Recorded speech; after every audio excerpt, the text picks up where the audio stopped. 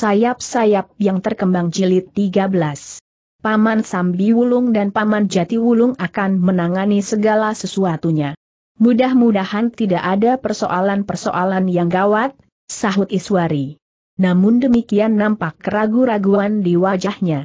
Sementara itu Kiai Soka pun berkata, Iswari. Sebaiknya dalam waktu-waktu penyempurnaan ilmu janget kinatelon.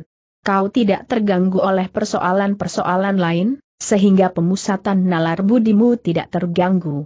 Iswari mengangguk-angguk. Namun sebagai seorang kepala tanah perdikan, maka nampak keragu-raguan di wajahnya. Bahkan Iswari itu seakan-akan bertanya kepada diri sendiri, apakah aku akan dapat melakukannya? Apakah aku benar-benar dapat memisahkan diri dari kewajibanku di tanah perdikan ini meskipun hanya sepuluh hari? Tetapi Iswari membiarkan pertanyaan itu melingkar-lingkar di dalam dirinya. Namun kemudian ia menyadari, bahwa pertanyaan itu harus disingkirkannya jika ia memasuki pemusatan nalar budi untuk menerima tuntunan menyempurnakan ilmunya Janget Kinatelon. Karena itu maka Nyiwiradana memang sudah memanggil beberapa orang pemimpin tanah perdikan hanya beberapa orang yang benar-benar dipercaya termasuk pemimpin petugas sandi dan pemimpin pasukan pengawal tanah perdikan. Kepada mereka Iswari memberitahukan, bahwa sebelum menghubungi dirinya, dalam waktu yang terbatas, sebaiknya mereka berhubungan lebih dahulu dengan Sambi Wulung dan Jati Wulung. Kenapa bertanya pemimpin pengawal? Aku akan menjalani pengobatan yang berat, berkata Iswari, Aku mempunyai penyakit dalam yang berbahaya. Tetapi aku tidak menutup kemungkinan untuk menerima persoalan yang benar-benar gawat. Meskipun hal itu akan berakibat buruk bagi penyakitmu sebelum sembuh benar, berkata Kiai Badra. Iswari hanya menarik nafas dalam-dalam, sementara pemimpin pengawal itu berkata, baiklah, kami akan berusaha bersama-sama Ki Sambi Wulung dan Ki Jati Wulung untuk mengatasi persoalan-persoalan yang mungkin timbul. Terutama dengan adanya topeng-topeng kecil itu. Sementara ini pemimpin petugas Sandi Jecan bekerja keras untuk mengamati keadaan. Kami sudah sewajarnya membantu agar pengobatan Nyi Wiradana cepat selesai. Iswari menarik nafas dalam-dalam. Katanya kemudian dengan nada rendah, Terima kasih. Kami mengharap semua pihak akan membantu. Mudah-mudahan pengobatan itu akan segera selesai. Dengan demikian maka aku akan segera dapat menunaikan tugasku kembali. Iswari berhenti sejenak, lalu, tetapi aku ulangi pesanku. Hal ini merupakan rahasia yang harus sama-sama kita pegang. Akhir-akhir ini kita melihat suasana yang kurang cerah di tanah perdikan ini, sehingga keadaanku itu tidak dimanfaatkan oleh pihak-pihak tertentu yang memang ingin mengacaukan ketenangan tanah perdikan ini. Baik Nyi. Kami akan melakukannya, jawab pemimpin pengawal itu. Bahkan merupakan rahasia bagi para pengawal itu sendiri, Iswari melanjutkan. Kami mengerti, pemimpin pengawal itu mengangguk-angguk. Demikianlah, maka Nyiwiradana itu pun telah membagi tugasnya. Namun semuanya akan bertumpu pada Sambi Wulung dan Jati Wulung. Meskipun demikian untuk sementara Sambi Wulung dan Jati Wulung diminta agar tidak terlalu sering keluar dari rumah. Sambi Wulung dan Jati Wulung menyadari, bahwa jika orang-orang yang sedang mengamati tanah perdikan itu mengenalnya, maka persoalannya akan berkembang semakin luas. Sejak hari itu, maka Iswari telah berusaha untuk memisahkan diri dari tugas-tugasnya sebagai pemangku kepala tanah perdikan menoreh. Malam nanti ia sudah harus memasuki barak untuk memperdalam dan meningkatkan ilmunya Janget Kinatelon. Ketika matahari mulai bergeser ke sebelah titik puncaknya, maka Iswari pun telah membersihkan diri. Mandi keramas dengan air rabu merang. Kemudian untuk beberapa saat ia berada di biliknya. Sambil mengeringkan rambutnya yang panjang, Iswari telah mempersiapkan diri sepenuhnya. Ketika kemudian senja turun, maka bersama-sama dengan ketiga orang gurunya, Iswari telah memasuki sanggarnya. Iswari bukan lagi seorang perempuan muda. Umurnya sudah bertambah-tambah. Namun, Demikian ia memasuki sanggar, maka darahnya mulai bergetar sebagaimana sepuluh tahun yang lalu. Beberapa saat lamanya, mereka berempat itu duduk di tengah-tengah sanggar. Mereka mulai menyesuaikan diri dengan lingkungan di dalam sanggar itu. Sesaat kemudian, dengan isyarat Kiai Badara minta kepada mereka semua untuk memusatkan nalar budi, memanjatkan permohonan kepada sumber hidup mereka, agar usaha mereka dapat berhasil dengan baik serta mohon tuntunan agar ilmu yang akan mereka dalami itu akan memberikan arti yang baik bagi sesama dalam pengabdian. Dalam keheningan sejenak, maka semua hati seakan-akan telah larut dalam pendekatan tertinggi. Untuk beberapa saat lamanya mereka terbenam dalam suasana hening, sehingga seakan-akan sanggar itu menjadi lebih sepi dari saat-saat kosong sama sekali. Bahkan tarikan nafas dari mereka yang sedang menundukkan kepala itu tidak terdengar sama sekali. Demikianlah, telah terjadi sentuhan-sentuhan di hati mereka betapa lembutnya, sehingga mereka pun menjadi semakin menyadari, betapa mereka tidak lebih dari debu yang dihamburkan di luasnya padang ilalang di rawa-rawa. Namun betapapun tidak berartinya mereka, tetapi mereka bermohon agar mereka dapat berbuat sesuatu bagi kebaikan sesama dengan care yang ingin mereka lakukan. Justru karena care yang mereka tempuh adalah care yang dalam pengertian dasarnya bertentangan dengan kasih kepada sesama itu sendiri, maka mereka telah memohon agar hati mereka dibimbing untuk dapat mengeterapkan dalam pengertian yang baik. Demikianlah maka setelah beberapa saat mereka berada dalam keadaan yang hening, maka mereka pun telah mengangkat kembali wajah mereka yang tunduk. Tarikan nafas panjang telah menandai berakhirnya satu saat yang betapapun pendeknya namun merupakan usaha pemusatan nalar budi dalam pendekatan tertinggi. Untuk beberapa saat mereka masih tetap duduk sambil berdiam diri. Namun kemudian Kiai Badralah yang mulai membuka pembicaraan, nah, setelah kita benar-benar berada dalam kesiagaan sepenuhnya, maka marilah, kita akan mulai dengan tugas kita yang berat. Kau sudah benar-benar siap Iswari bertanya Nyai Soka. Ya guru, jawab Iswari singkat. Jika demikian, maka mulailah dengan mengungkapkan kembali tingkat kemampuanmu agar kami dapat mengerti dengan pasti, dari mana kita akan berangkat, berkata Kiai Badra. Iswari pun kemudian berdiri tegak. Mengangguk dalam-dalam sebagaimana sikap seorang murid kepada gurunya. Bukan lagi sikap seorang cucu kepada kakeknya. Beberapa langkah ia surut, sementara ketiga orang kakek dan neneknya itu pun telah bergeser pula menepi. Sejenak kemudian, maka Iswari pun telah mempersiapkan dirinya, mengatupkan kedua telapak tangan di dadanya memusatkan segenap tanggapan indrianya dalam ungkapan ilmu yang tersimpan di dalam dirinya. Perlahan-lahan Iswari mulai menggerakkan tangannya. Telapak tangannya yang mengatup mulai terurai. Perlahan-lahan jari-jari tangannya mulai bergerak membentuk lambang-lambang tertentu pada permulaan ungkapan ilmunya sebagaimana diajarkan oleh gurunya. Kemudian jari-jari kedua tangannya mengembang dalam jajaran yang rapat, sementara tangannya terjulur ke depan dengan telapak tangan tengadah. Satu gerakan berputar disusul dengan pengendapan yang berat. Kedua tangannya telah terangkat ke atas. Kemudian kedua telapak tangannya telah mengatup kembali dan turun perlahan-lahan sehingga akhirnya berhenti di dadanya. Sejenak Iswari berdiri dalam sikap seperti itu. Namun kemudian ia pun mulai bergerak dengan unsur-unsur gerak yang telah dipelajarinya dari ketiga gurunya itu. Geraknya mula-mula perlahan-lahan. Namun semakin lama menjadi semakin cepat, sehingga akhirnya Iswari mulai memasuki unsur-unsur gerak yang paling sulit dari ilmu yang pernah diterimanya. Untuk beberapa saat lamanya ketiga gurunya mengamati dengan saksama tata gerak yang dilakukan oleh Iswari dalam pengungkapan ilmunya itu. Semakin lama terasa betapa gerak Iswari menjadi semakin mantap. Pada saat-saat unsur-unsur geraknya telah tertuang, maka mulailah Iswari mengeterapkan ilmu yang memiliki kekuatan dan kemampuan yang jarang ada bandingnya. Dengan kemampuan ilmunya Iswari mampu menyerap kekuatan yang ada di lingkungannya, kemudian bergejolak di dalam dirinya dan memadu dengan kekuatan yang ada di dalam dirinya pula. Dengan demikian maka perlahan-lahan mulai nampak oleh mata orang-orang berilmu semacam kabut tipis dari tubuh Iswari itu. Kabut yang sangat tipis dan bagaikan menggelombang di udara.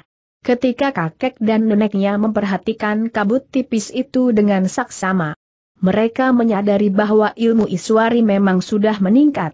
Kabut itu tidak lagi berwujud, tetapi nampak oleh ketiga orang tua itu, sebagaimana mereka melihat dek amun-amun di padang rumput dalam panas yang sangat terik, sehingga udara bagaikan bergetar karenanya tanpa menghalangi pandangan mereka. Ketiga orang tua itu mengerti, bahwa Iswari mampu membangunkan kekuatan panas semakin tinggi sejalan dengan tingkat perkembangan ilmunya. Dengan demikian maka kekuatan ilmunya itu pun telah bertambah berbahaya pula bagi lawan-lawannya. Namun Iswari tidak mendorong kekuatan ilmunya itu bergerak karena ia tidak mempunyai sasaran yang memadai di dalam sanggarnya itu, sehingga dengan demikian maka kekuatan ilmunya bagaikan hanya menyelubungi dirinya.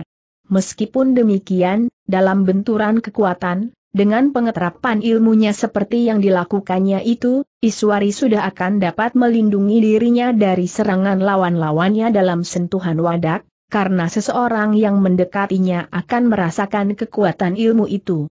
Beberapa saat lamanya Iswari telah menunjukkan kekuatan ilmunya yang telah berkembang kepada kakek dan neneknya yang kebetulan adalah guru-gurunya, diwarnai oleh unsur-unsur gerak yang mendukung kekuatan dan kemampuan ilmunya yang telah berkembang pula.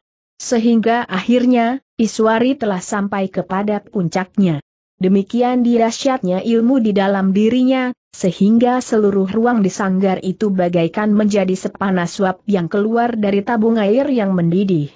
Tetapi yang ada di dalam sanggar itu selain Iswari adalah tiga orang berilmu tinggi, sehingga karena itu, maka mereka pun mampu melindungi kulit mereka sehingga tidak mengalami luka-luka karena panasnya uap air yang mendidih. Apalagi ilmu itu bersumber dari mereka bertiga pula. Demikianlah, maka setelah Iswari benar-benar tuntas di puncak kemampuannya, meskipun ada bagian-bagian yang tidak dilakukannya karena kemungkinan keadaan di sekelilingnya dan ruang, maka ia pun mulai menyusut ungkapan ilmunya itu perlahan-lahan. Semakin lama semakin ditekannya dan diendapkannya, sehingga akhirnya kabut tipis yang hanya dapat dilihat oleh mata orang-orang berilmu itu pun telah lenyap pula. Ungkapan-ungkapan gerak kewadagannya pun telah menurun pula perlahan-lahan, sehingga akhirnya perlahan-lahan tangannya pun telah terangkat dengan jari-jari terbuka. Kemudian perlahan-lahan pula megatup dan turun ke dadanya. Masih ada beberapa gerakan kecil. Tetapi terakhir telapak tangan Iswari itu telah merapat dan mengatup kembali di dadanya. Sesaat mata Iswari terpejam. Namun kemudian ketika mata itu terbuka Iswari telah membungkuk hormat kepada ketiga orang gurunya. Ketiga orang kakek dan neneknya yang juga guru-gurunya itu mengangguk-angguk. Mereka telah menyaksikan kemampuan Iswari dalam ungkapan ilmu janget kinatelon yang mula-mula adalah tiga sumber ilmu yang karena kemampuan yang tinggi, telah dijalin menjadi satu sehingga menjadi sejenis ilmu yang dapat disebut diperbaharui dalam tataran yang lebih tinggi dari sumber dasarnya masing-masing. Dalam pada itu maka terdengar Kiai Badra berkata kepada Iswari, cukup Iswari. Beristirahatlah sebentar. Kami akan menentukan langkah-langkah kami untuk membimbingmu dalam waktu yang pendek ini. Iswari sekali lagi mengangguk dalam-dalam. Kemudian katanya, terima kasih guru. Ketika Iswari kemudian menepi dengan kedua belah tangannya yang tergantung lemah di sisi tubuhnya untuk duduk dan beristirahat, maka ketiga orang gurunya telah melakukan penilaian atas peragaan yang dilakukan oleh Iswari itu. Beberapa saat mereka melihat kekuatan yang nampak pada perkembangan ilmunya yang bahkan di luar dugaan, namun mereka juga melihat beberapa kekurangan dan kelemahan yang ada pada ilmunya itu, sehingga beberapa di antara unsur geraknya masih nampak rapuh. Bahkan pancaran kekuatan ilmunya pun masih juga belum padat, sehingga masih ada lubang-lubang udara yang kosong. Jika terjadi benturan ilmu yang sama kuatnya, maka ilmu lawan akan mampu menyusup di antara kekosongan itu dan sangat membahayakannya, berkatanya Isoka. Ya, desis Kiai Soka, Segi itulah yang akan kita urai terlebih dahulu, sebelum kita meningkat pada pengembangannya. Kiai Badrap pun mengangguk-angguk. Katanya, aku sependapat. Kita akan mengisi kekosongan-kekosongan yang masih terdapat pada ungkapan ilmu anak itu, meskipun ilmunya sudah meningkat. Kemudian mempertebal lapisan-lapisan ilmu itu dan terakhir kita harus melihat bagaimana Iswari mendorong kekuatan ilmunya memancar dari dirinya ke arah sasaran, dengan kekuatan ilmu yang telah menjadi semakin padat dan berat. Demikianlah, maka ketiga orang itu telah membicarakan langkah-langkah yang akan mereka ambil untuk melaksanakannya. Dalam pada itu, Iswari yang sempat beristirahat di pinggir sanggar, duduk pada sebuah hamben kecil. Dengan sungguh-sungguh ia memperhatikan pembicaraan guru-gurunya meskipun ia tidak mendengar dengan jelas apa yang mereka katakan. Namun Iswari merasa bahwa ia masih harus bekerja keras untuk mencapai satu tataran baru pada ilmunya itu. Demikianlah, maka sejak saat itu, Iswari memang lebih banyak berada di dalam sanggar. Ia benar-benar telah memisahkan diri dari tugasnya sehari-hari. Bahkan tidak seorang pun yang dibenarkan menghubunginya selain ketiga orang gurunya. Siang dan malam hampir tidak ada putusnya, Iswari berada di dalam sanggar bersama ketiga orang gurunya. Sehari semalam, Iswari hanya mendapat kesempatan yang tidak terlalu panjang untuk berada di luar sanggar dan berada di pambaringannya. Selebihnya, ia harus bekerja keras menjelang saatnya bulan purnama. Bagi Iswari sendiri, bulan purnama tidak memberikan pengaruh apa pun pada ilmunya. Dan bahkan Iswari menganggap bahwa cahaya bulan tidak lebih dari salah satu wujud kecantikan alam, di antara kecantikan alam yang lain. Namun ketiga gurunya mempunyai pertimbangan yang lain. Mereka masih memperhitungkan seseorang yang menganggap dirinya dipengaruhi oleh kekuatan cahaya bulan. Dalam pada itu, selagi Iswari berada di dalam sanggarnya dan tenggelam pada peningkatan kemampuan ilmunya, Sambi Wulung dan Jati Wulung berusaha untuk dapat melakukan tugas-tugasnya meskipun tidak sepenuhnya. Namun Sambi Wulung dan Jati Wulung pun masih selalu membatasi dirinya karena keduanya masih juga memperhitungkan satu kemungkinan, bahwa orang-orang dari padepokan yang dihuni oleh Puguh akan berkeliaran sampai ke tanah perdikan itu. Atau orang-orang dari satu lingkungan yang tersembunyi, yang daerahnya dipagari oleh topeng-topeng kecil yang mempunyai pengertian maut itu. Sambi Wulung dan Jati Wulung masih berusaha untuk menyembunyikan wajah mereka terhadap orang-orang yang mungkin menyusup ke tanah perdikan Sembojan itu, agar tidak memberikan kemungkinan bagi Puguh untuk mengambil langkah-langkah pengamanan sehingga mereka akan kehilangan jejaknya lagi. Karena itulah, maka keduanya lebih banyak mengatur tanah perdikan itu dari rumah kepala tanah perdikannya. Tetapi sebaliknya justru di malam hari Sambi Wulung dan Jati Wulung banyak mengunjungi padukuhan-padukuhan di seluruh tanah perdikan, sehingga karena itu, maka setiap padukuhan tidak pernah merasa terpisah dari induknya meskipun beberapa hari mereka tidak berhubungan dengan Iswari. Untuk beberapa hari tidak terjadi sesuatu di tanah perdikan itu.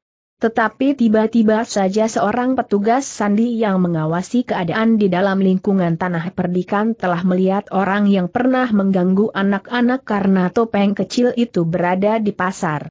Petugas itu sempat menghubungi kawannya dan menyuruhnya untuk mengawasinya.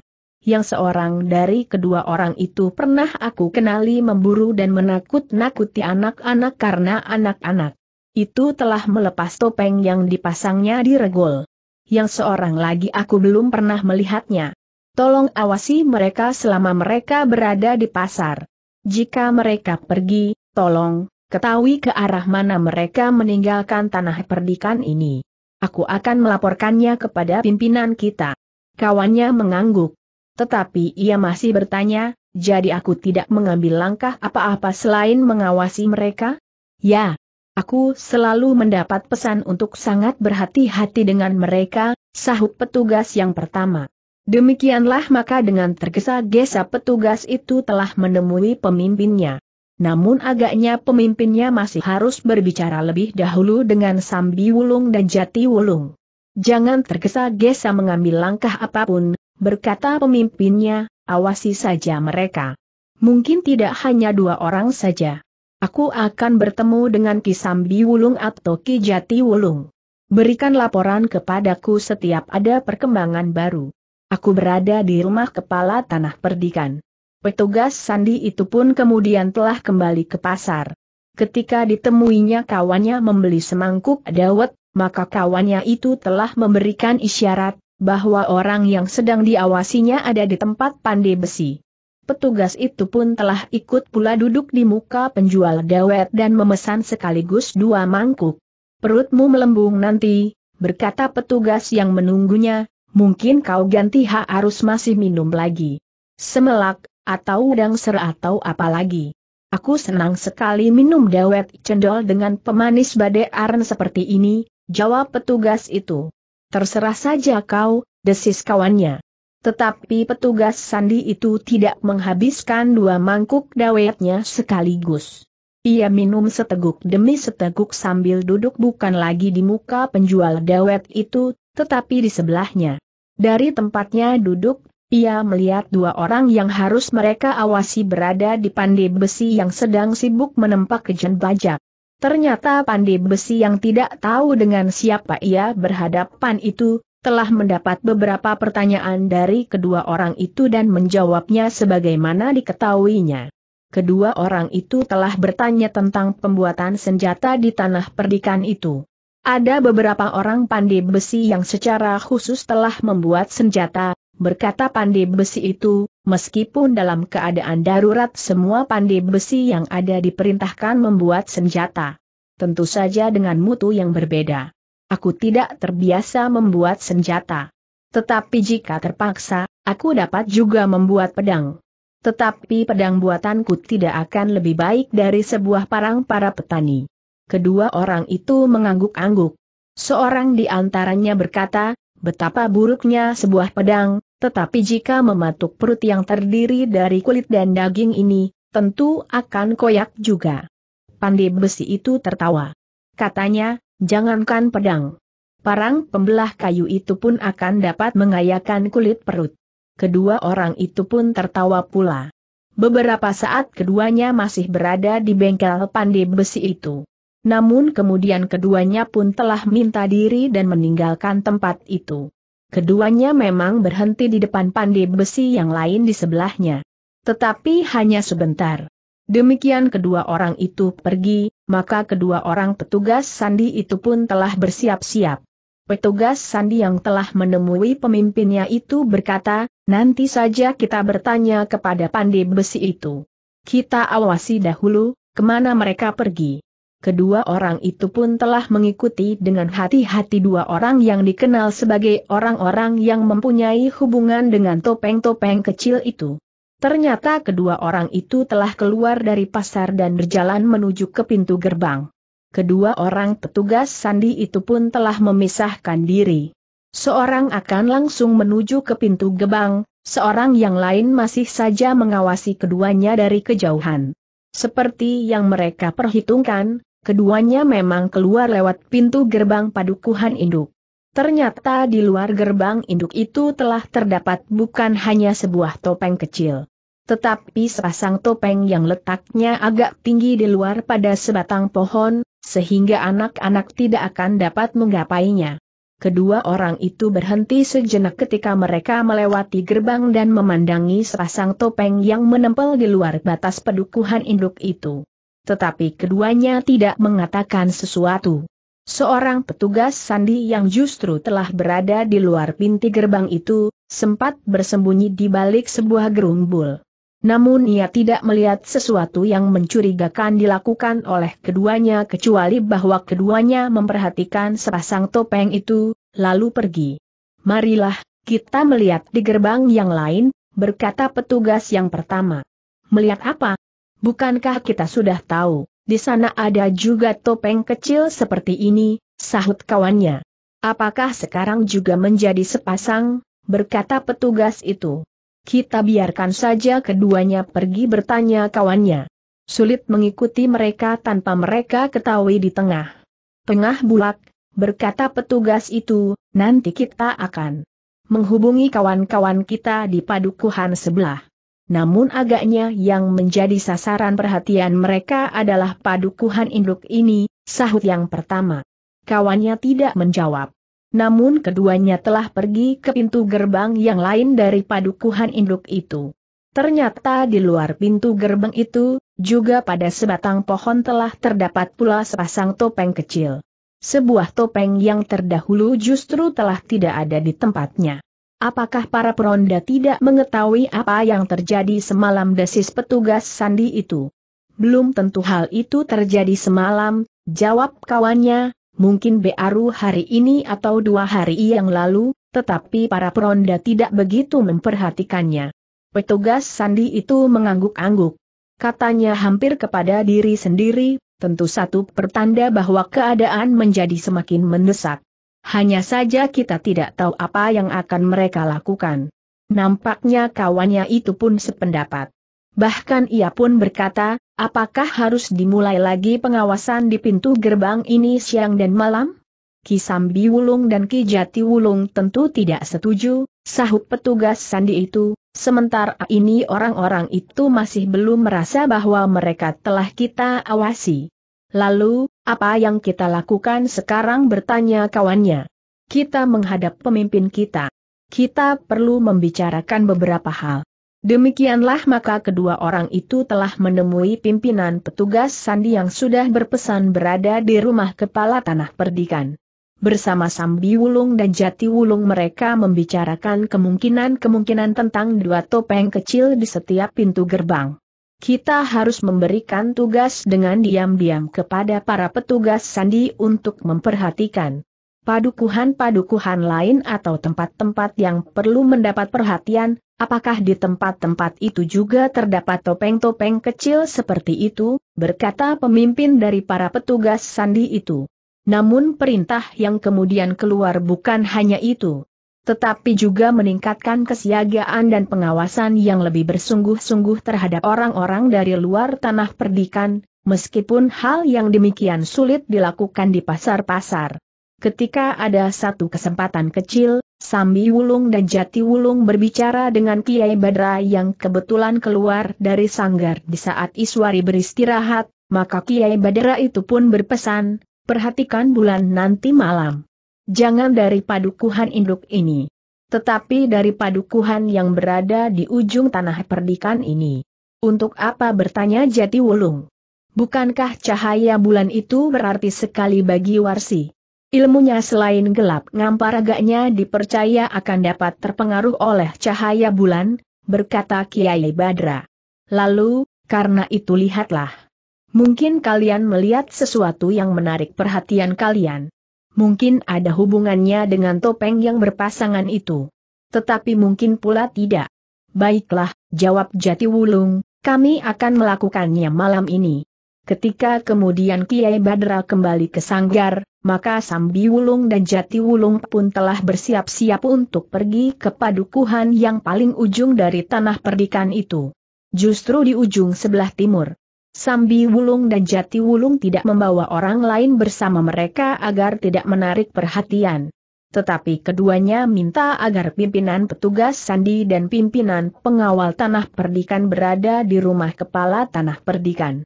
Sementara pengobatan bagi Nyi Wiradana masih berlangsung, maka kita memang harus menjaga rumah ini baik-baik, berkata S. Ambi Wulung kepada pemimpin pengawal dan para petugas yang ada di rumah itu. Meskipun tanpa perintah, tetapi rasa-rasanya para pengawal itu masing-masing menyadari bahwa mereka harus meningkatkan kesiagaan tertinggi. Karena itu, maka mereka tidak membagi tugas menjadi dua kelompok seperti biasanya yang bergantian tidur dan berjaga-jaga. Tetapi mereka yang tidur hanya seperempat dari jumlah para petugas bergantian. Para petugas itu telah dibagi menjadi empat kelompok hanya satu kelompok sajalah yang beristirahat dengan waktu yang lebih pendek dari biasanya. Sambi Wulung dan Jati Wulung memang terbiasa untuk datang ke padukuhan-padukuhan di malam hari. Karena itu, keduanya memang tidak banyak menarik perhatian ketika mereka melewati gardu-gardu di padukuhan-padukuhan. Bahkan keduanya masih juga sempat berbicara beberapa lama di gardu-gardu sekedar untuk memelihara jarak yang sudah menjadi semakin dekat dengan anak apak muda tanah perdikan itu. Tetapi mereka tidak mengabaikan tugas mereka. Ketika bulan yang masih belum bulat semakin tinggi memanjat langit, maka Sambi Wulung dan Jati Wulung memang telah berada di ujung tanah perdikan itu tetapi keduanya sengaja tidak berada di gardu di mulut pintu gerbang di pating ujung itu. Tetapi seperti orang-orang yang pergi ke sawah, maka keduanya menyusuri pematang memasuki daerah persawahan yang masih menjadi lingkungan tanah perdikan. Adalah kebetulan, bahwa mereka telah bertemu dengan dua orang yang berada di dalam gubuknya menunggui air yang gemericik mengalir di bawah gardu itu. Sambi Wulung dan Jati Wulung telah ikut pula duduk di gardu itu yang ternyata terletak tidak begitu jauh dari lereng pebukitan. Sepi sekali malam ini, berkata salah seorang dari kedua orang petani itu. Apakah di malam-malam lain tidak sesepi ini bertanya Sambi Wulung. Orang itu tertawa. Katanya, malam-malam lain juga sepi. Tetapi rasa-rasanya malam ini terlalu sepi. Suara angin terdengar lebih ngelangut. Jati Wulung tertawa. Katanya, yang sepi adalah hatimu sendiri. Eh, apakah sudah agak lama kau tidak mendapat kesempatan untuk bermain dadu? Ah, jawab petani itu, bukankah sekarang di tanah perdikan ini sudah tidak ada lagi permainan dadu? Aku tahu sekarang. Kau sedang menyelidiki aku. Jati Wulung tertawa semakin keras. Katanya, es sama sekali tidak. Aku memang sudah yakin, tidak ada lagi permainan apa pun di sini. Namun dalam pada itu, petani yang lain pun berkata, suasananya memang lain. Dua atau tiga malam ini rasa. Rasanya memang lebih sepi. Malam kemarin kami tidak keluar di malam hari, karena kami mendapat giliran air di siang hari. Malam ini sebenarnya kami mendapat giliran di pagi hari. Tetapi rasa-rasanya di padukuhan pun terlalu sepi. Anak-anak yang meronda bagaikan terkantuk-kantuk saja di gardu, karena itu, kami pun telah keluar pula jauh sebelum saat giliran kami sampai.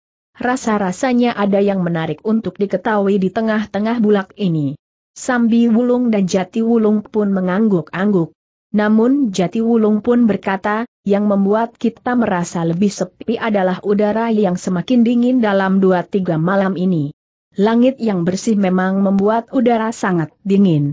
Angin yang bertiup ini rasa-rasanya semakin membuat tubuh gemetar. Kedua orang petani itu mengangguk-angguk. Seorang di antara mereka berkata, kau benar. Dua tika malam ini udara terasa bagaikan menggigit tulang. Untuk sesaat mereka pun telah terdiam. Malam dinginnya bukan kepalang. Namun seorang di antara petani itu berkata, aku membawa wedang jahe. Meskipun sudah dingin tetapi hangatnya jahe akan membuat kita menjadi hangat pula. Terima kasih, Jati Wulung menyahut, aku memang haus. Jati Wulung memang meneguk wedang jahe dari gendi tembaga yang dibawa oleh petani itu. Namun belum lagi tiga teguk Jati Wulung telah menurunkan gendi itu dari mulutnya. Kalian dengar suara itu Jati Wulung berdesis. Ya, memang agak tidak biasa, Berkata petani itu, suara itulah yang memang mendorong kami untuk memperhatikan sawah kami. Apalagi pategalan sebelah. Bukanlah suara itu suara anjing hutan bertanya Jati Wulung. Ya, jawab petani itu. Bukankah anjing hutan tidak merusakkan sawah dan pategalan bertanya Jati Wulung? Pada dasarnya memang tidak. Tetapi jika jumlah terlalu banyak, maka jalan yang mereka lewati akan menguak tanaman di sawah dan petegalan. Dalam keadaan lapar maka anjing-anjing hutan akan memasuki padukuhan-padukuhan untuk mencuri ternak.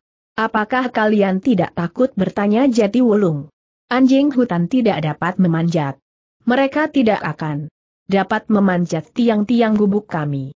Sedangkan gubuk kami cukup kuat sehingga tidak akan dapat dirobohkannya, jawab petani itu. Sambi Wulung dan Jati Wulung mengangguk-angguk. Tetapi Sambi Wulung masih bertanya, apakah anjing-anjing hutan itu tidak dapat memanjat tangga? Petani itu tertawa. Katanya, tangga itu dapat kami tarik ke atas. Sementara itu, kami dapat memukuli kepala anjing hutan yang mencoba melonjak naik dengan tongkat-tongkat besi ini atau menusuknya dengan parang. Sambi Wulung dan Jati Wulung mengangguk-angguk. Dengan nada rendah ia berkata, dari mana kira-kira anjing? Anjing itu datang?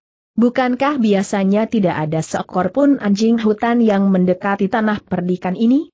Memang pernah, jawab petani yang seorang, tetapi tidak pasti sepuluh tahun sekali. Menurut pendengaran kami, di balik bukit itu ada sebuah goa yang angker. Yang disebut Jalma Mara Jalma Mati, Sato Mara Sato Mati. Setiap kehidupan yang datang ke goa itu tentu akan mati. Goa itu sarang anjing hutan bertanya Sambi Wulung. Orang itu menggeleng. Katanya, bukan sarang anjing hutan.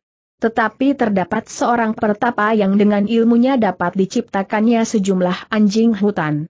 Anjing hutan itu dapat diperintah sesuai dengan kehendaknya dan memiliki penalaran sebagaimana orang yang memilikinya itu. Ya, sahut petani yang lain, ilmu itu memang ilmu siluman.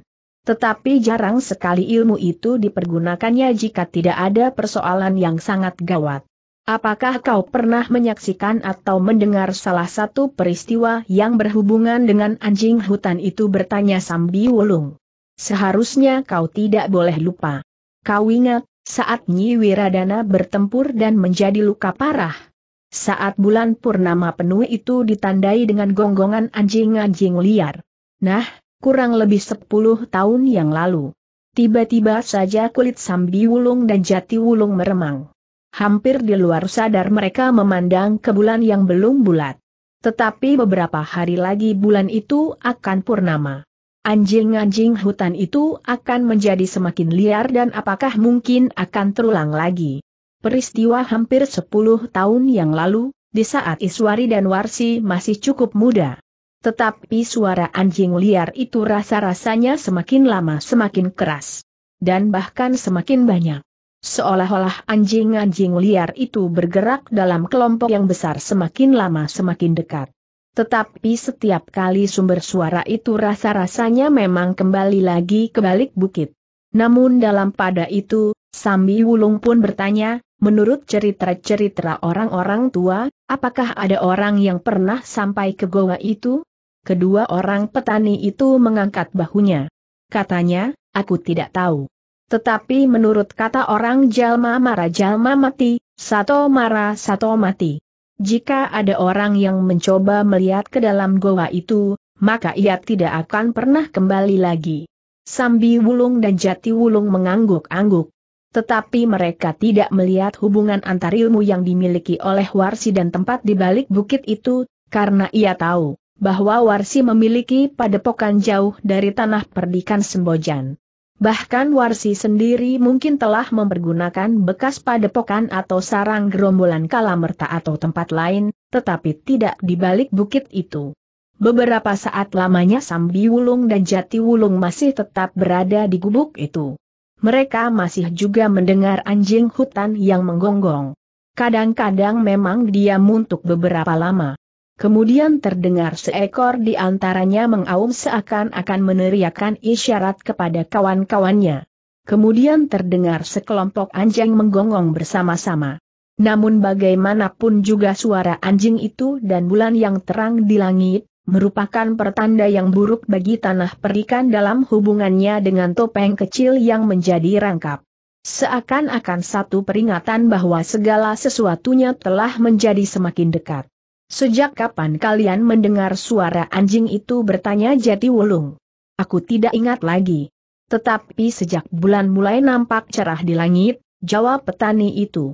Jati Wulung mengangguk-angguk. Tiba-tiba saja timbul keinginannya untuk mendekat. Tetapi tentu hanya sampai batas tanah perdikan sembojan di kaki bukit itu. Di seberang jalan sempit di tengah-tengah bulak itu, maka tanah persawahan itu tetapi milik sebuah kademangan tetangga. Marilah, ajak Jati Wulung, kita berjalan-jalan lagi. Sambi Wulung setuju. Katanya, marilah. Kita habiskan malam ini dengan berkeliling tanah perdikan. Besok sejak dini hari kita akan tidur dengan nyenyak. Kedua orang itu pun kemudian telah turun dari gardu dan minta diri untuk melanjutkan perjalanan. Salah seorang dari kedua petani itu pun kemudian berpesan, jangan mencoba-coba memasukkan tanganmu ke dalam api. Sambi Wulung dan Jati Wulung termangu-mangu sejenak. Namun keduanya pun tertawa. Sambi Wulung pun menjawab, kami tidak akan pergi ke bukit itu. Terima kasih atas peringatan kalian. Demikianlah Sambi Wulung dan Jati Wulung telah menelusuri pematang, mengikuti aliran air parit yang tidak begitu besar, tetapi bening. Ketika Jati Wulung menyentuh air itu dengan ujung jari kakinya, maka terasa air itu sangat dingin. Tetapi para petani yang mendapat giliran mengairi sawahnya di malam hari, tidak akan mengeluh meskipun seandainya air itu bagaikan membeku. Ketika mereka sampai ke batas tanah perdikan Sembojan, maka mereka pun terhenti. Di hadapan mereka masih terbentang beberapa kotak sawah sampai ke kaki bukit. Tetapi sawah itu bukan milik tanah perdikan itu. Meskipun tanah perdikan selalu berhubungan dengan para tetangga, tetapi adalah kurang bijaksana untuk memasuki lingkungan mereka di malam hari para petani dari kademangan tetangga akan dapat menuduhnya mencuri air yang seharusnya mengalir di tanah persawahan mereka atau bahkan berbuat sesuatu yang kurang wajar. Karena itu, maka Sambi Wulung dan Jati Wulung hanya berdiri saja di sebuah jalan yang tidak cukup luas itu, yang di sebelah menyebelahnya terdapat parit. Suara gonggong anjing itu memang terdengar semakin dekat. Tetapi rasa-rasanya memang dari balik bukit kecil itu. Namun demikian Sambi Wulung dan Jati Wulung masih belum yakin, bahwa di balik bukit itu ada sebuah goa yang dihuni oleh seseorang yang memiliki atau memelihara anjing-anjing hutan itu. Apalagi seseorang yang dengan ilmunya dapat menciptakan anjing-anjing hutan yang garang. Tetapi suara itu memang suara anjing hutan, berkata Sambi Wulung. Siapa tahu apa semacam ilmu yang dipengaruhi oleh sinar bulan, namun dibarengi oleh suara-suara seperti gonggong anjing hutan. Sinar bulan dan suara seperti gonggong anjing hutan itu merupakan dukungan atas kekuatan ilmu yang dimiliki itu. Misalnya, kenapa Warsi beberapa tahun yang lalu menantang Iswari justru di saat bulan purnama. Juga di saat itu terdengar gonggong anjing hutan, desis jati wulung. Kita memang dapat menghubungkannya dengan topeng yang tiba-tiba telah menjadi rangkap, berkata Sambi Wulung pula. Lalu katanya, kesimpulan daripada itu, maka kita memang harus semakin berhati-hati.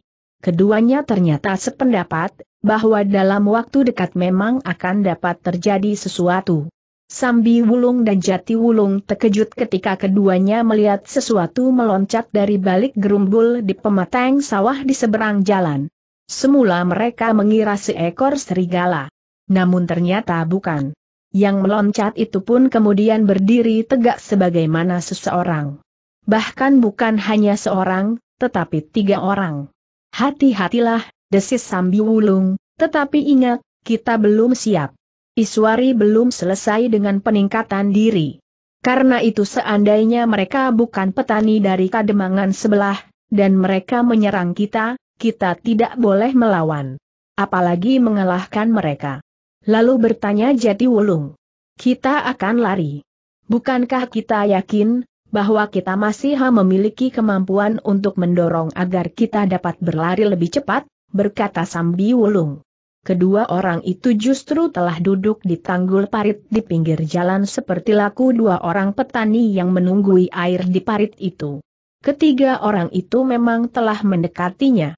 Seorang yang berjalan di pating depan telah berhenti beberapa langkah dari Sambi Wulung dan Jati Wulung. Dengan nada kasar ia bertanya, Hi, apa kerja kalian di sini? Menelusuri air kisanak, jawab Sambi Wulung. Tetapi kalian nampaknya tidak membawa cangkul atau alat-alat yang lain, berkata orang itu. Cangkul kami berada di mulut kotak sawah kami. Kami hanya menunggui air yang kadang-kadang telah dicuri orang tetangga-tetangga yang tidak mau menuruti perjanjian tentang pembagian air, sahut Sambi Wulung. Namun Sambi Wulung pun sempat juga bertanya, kalian siapa? Aku petani dari kademangan sebelah, jawab salah seorang di antara mereka. Tetapi Sambi Wulung masih menjawab, aku terbiasa bertemu dengan mereka di sini.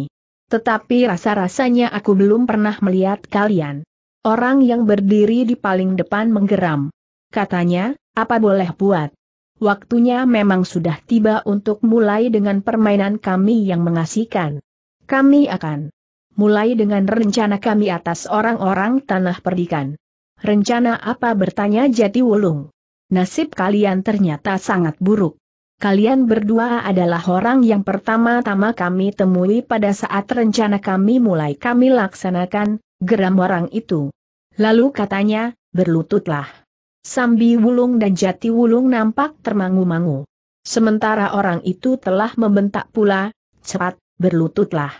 Jika kau mempersulit pekerjaan kami, maka kau akan mengalami nasib yang jauh lebih buruk dari mati.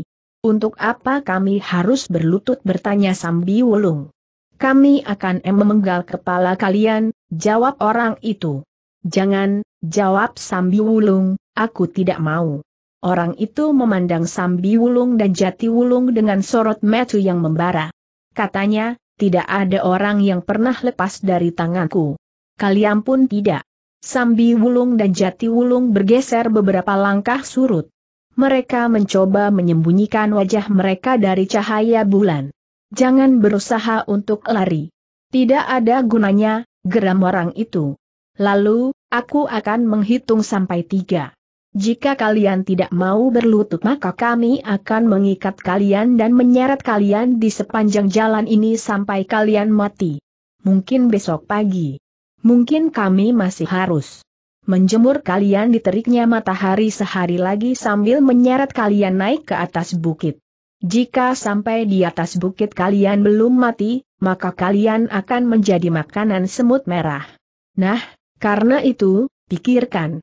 Cara mati yang mana yang kau kehendaki. Sambi Wulung dan Jati Wulung masih bergeser surut. Sementara orang itu mulai menghitung, satu, dua, tiga. Karena Sambi Wulung dan Jati Wulung tidak berlutut maka orang yang agaknya memimpin kawan-kawannya itu berteriak, tangkap mereka dan ikat mereka. Namun Sambi Wulung telah memberikan isyarat kepada Jati Wulung. Karena itu, maka mereka berdua pun telah berlari meninggalkan orang-orang itu. Tangkap mereka. Jangan sampai lepas, teriak pemimpin mereka. Kedua orang di antara mereka telah berusaha mengejar Sambi Wulung dan Jati Wulung, namun ternyata kedua buruan itu berlari lebih kencang dari mereka. Sambi Wulung dan Jati Wulung berlari menyusuri jalan panjang itu menuju ke padukuhan. Orang-orang yang mengejarnya telah mengerahkan tenaga mereka pula. Namun ternyata bahwa jarak di antara mereka semakin lama justru menjadi semakin panjang, sehingga akhirnya kedua orang yang mengejarnya itu melepaskan harapannya untuk dapat menangkap mereka. Karena itu, maka kedua orang yang mengejarnya itu akhirnya telah berhenti. Sambil mengumpat-umpat mereka akhirnya kembali kepada pemimpin mereka. Ternyata pemimpin mereka telah marah bukan buatan. Hampir saja ia telah memukul orang-orangnya. Untunglah ia masih dapat menahan diri. Kedua orang itu akan menyebarkan berita ini, geram pemimpinnya, seharusnya orang-orang tanah perdikan itu menemukan orang-orangnya mati tanpa diketahui siapakah yang membunuh mereka. Kita telah belajar bagaimana membunuh seseorang dengan meninggalkan kesan bahwa orang itu telah dikoyak-koyak serigala. Jika keduanya mau berlutut, maka kita akan dapat dengan mudah mengoyak lehernya dan menghunjamkan kuku-kuku besi kita sebagaimana gigi serigala. Tetapi orang itu tidak mau melakukannya, sehingga kita harus membunuhnya dengan care apa pun juga, jawab salah seorang di antara keduanya. Kau bodoh, geram pemimpinnya, kita akan dapat memberikan kesan kematian dengan care yang kita kehendaki itu. Seandainya tidak, dengan care apa pun orang itu ternyata tidak dapat kalian tangkap. Apalagi kalian bunuh. Kedua orang pengikutnya itu hanya dapat menundukkan kepalanya. Namun pemimpinnya akan berkata, Sudahlah. Kita akan berusaha di sisi lain dari tanah perdikan ini. Mungkin kita memang tidak perlu meninggalkan kesan serigala itu. Dengan care apa pun kita harus mulai menakut-nakuti orang-orang tanah perdikan yang sombong ini. Tetapi harus kita sadari, apa yang terjadi ini besok tentu sudah tersebar di seluruh tanah perdikan, karena tanah perdikan Sembojan mempunyai jaring-jaring hubungan yang tertib antara padukuhan-padukuhan. Aku pun berani bertaruh, besok semua pengawal tanah perdikan itu tentu sudah dikerahkan. Dengan demikian tugas kita akan bertambah berat dan kita harus lebih bersabar. Kedua orang pengikutnya masih tetap berdiam diri. Sementara itu pemimpinnya berkata, pada suatu saat, kita harus merayap memasuki padukuhan. Akhirnya ketiga orang itu pun telah meninggalkan tempatnya berjalan kembali ke arah bukit. Mereka tidak mengharapkan lagi akan bertemu dengan seseorang atau lebih yang akan dapat dijadikan korban. Mereka pun pada kesempatan pertama telah gagal untuk memberikan kesan sekelompok serigala yang telah menyerang para petani tanah perdikan Sembojan, karena kedua orang yang disangkanya petani itu sempat melarikan diri. Dalam pada itu, Sambi Wulung dan Jati Wulung pun ternyata tidak segera memasuki padukuhan. Demikian kedua orang yang mengejar mereka itu berhenti, maka mereka pun telah berusaha untuk menyelinap dan menyusuri pematang kembali menemui kedua orang petani yang ada di dalam gubuknya. Kami persilahkan kalian pulang, minta Sambi Wulung. Kami belum sempat mengairi sawah kami. Sebentar lagi. Kami akan mendapat giliran itu, jawab salah seorang dari mereka. Tetapi Sambi Wulung berkata, aku minta dengan sangat kalian pulang bersama kami biarlah kita agak mendahului saat kau membuka pematang. Bukankah waktunya hanya kurang sedikit? Tetapi kami belum mendengar ayam berkokok untuk yang kedua kalinya, jawab salah seorang di antara para petani itu. Sebentar lagi, jawab Sambi Wulung, mari, buka pematangmu dan kita tinggalkan kembali ke padukuhan. Sesuatu telah terjadi.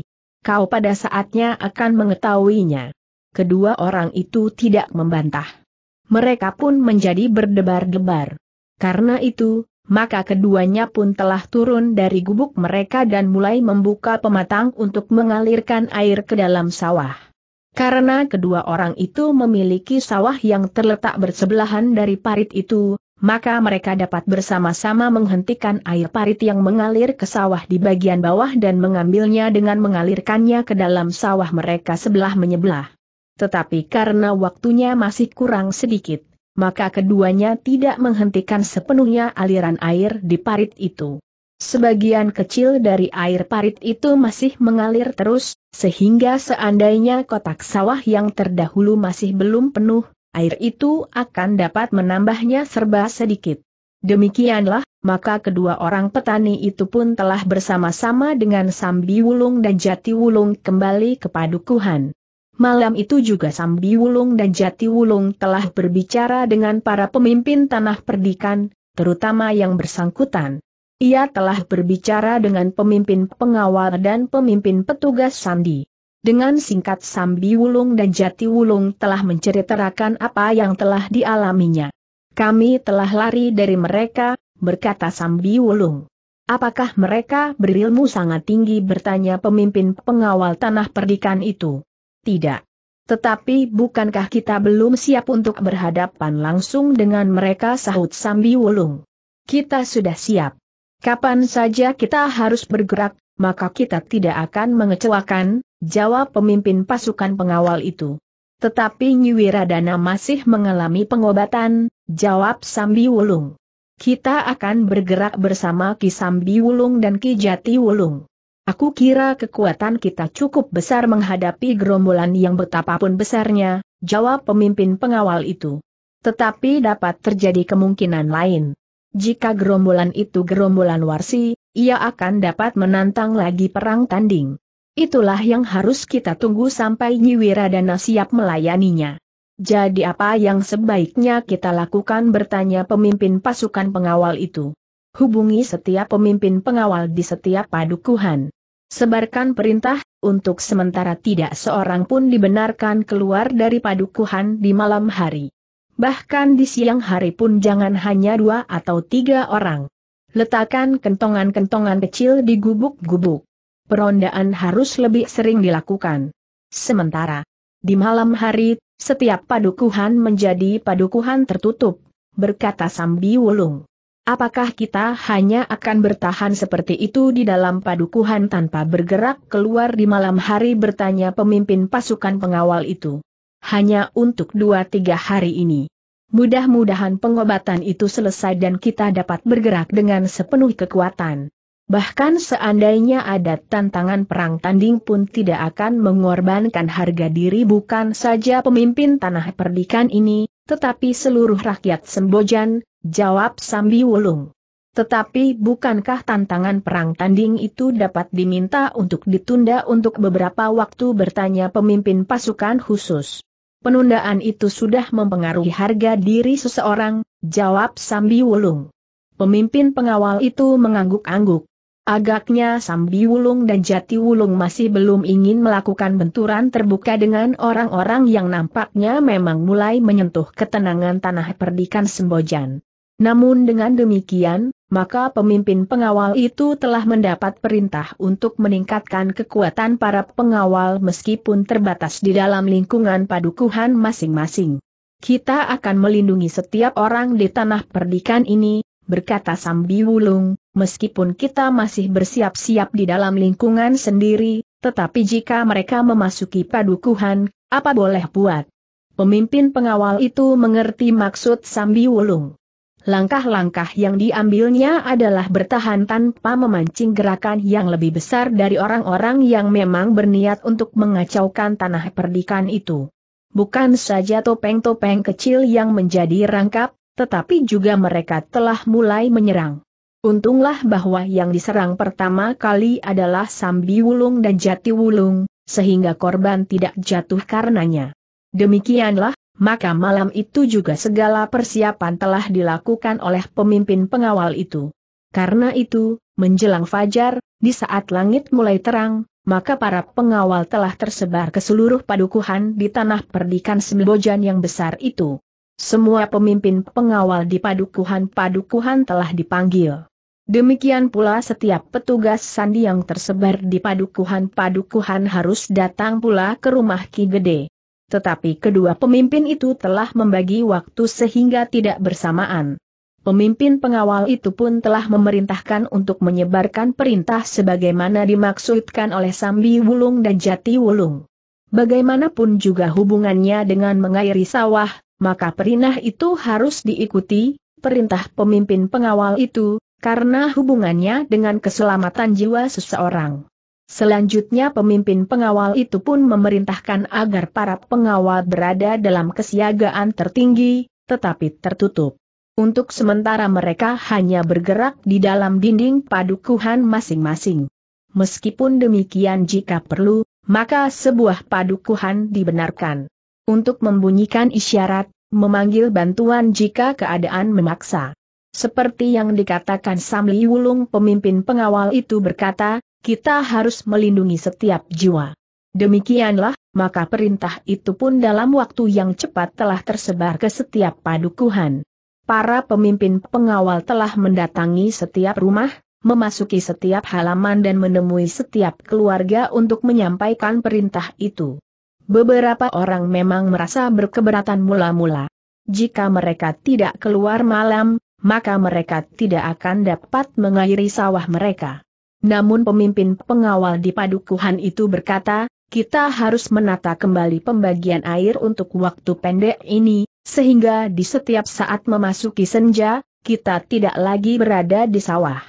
Bagi mereka yang belum mengairi sawahnya, maka menjelang senja dapat membuka pintu air di pematang tanpa menutup air itu sehingga yang lain yang seharusnya membuka air di tengah malam atau sesudahnya akan dapat membasahi sawahnya pula.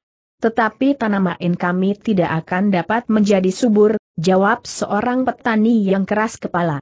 Soalnya adalah keselamatan jiwa, jawab pemimpin pengawal di padukuhan itu, sementara itu, keadaan ini hanya berlaku untuk waktu yang sangat pendek.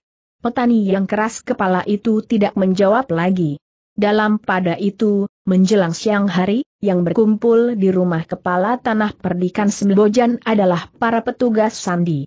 Mereka membicarakan pengawasan yang lebih bersungguh-sungguh lagi terhadap orang-orang yang tidak dikenal.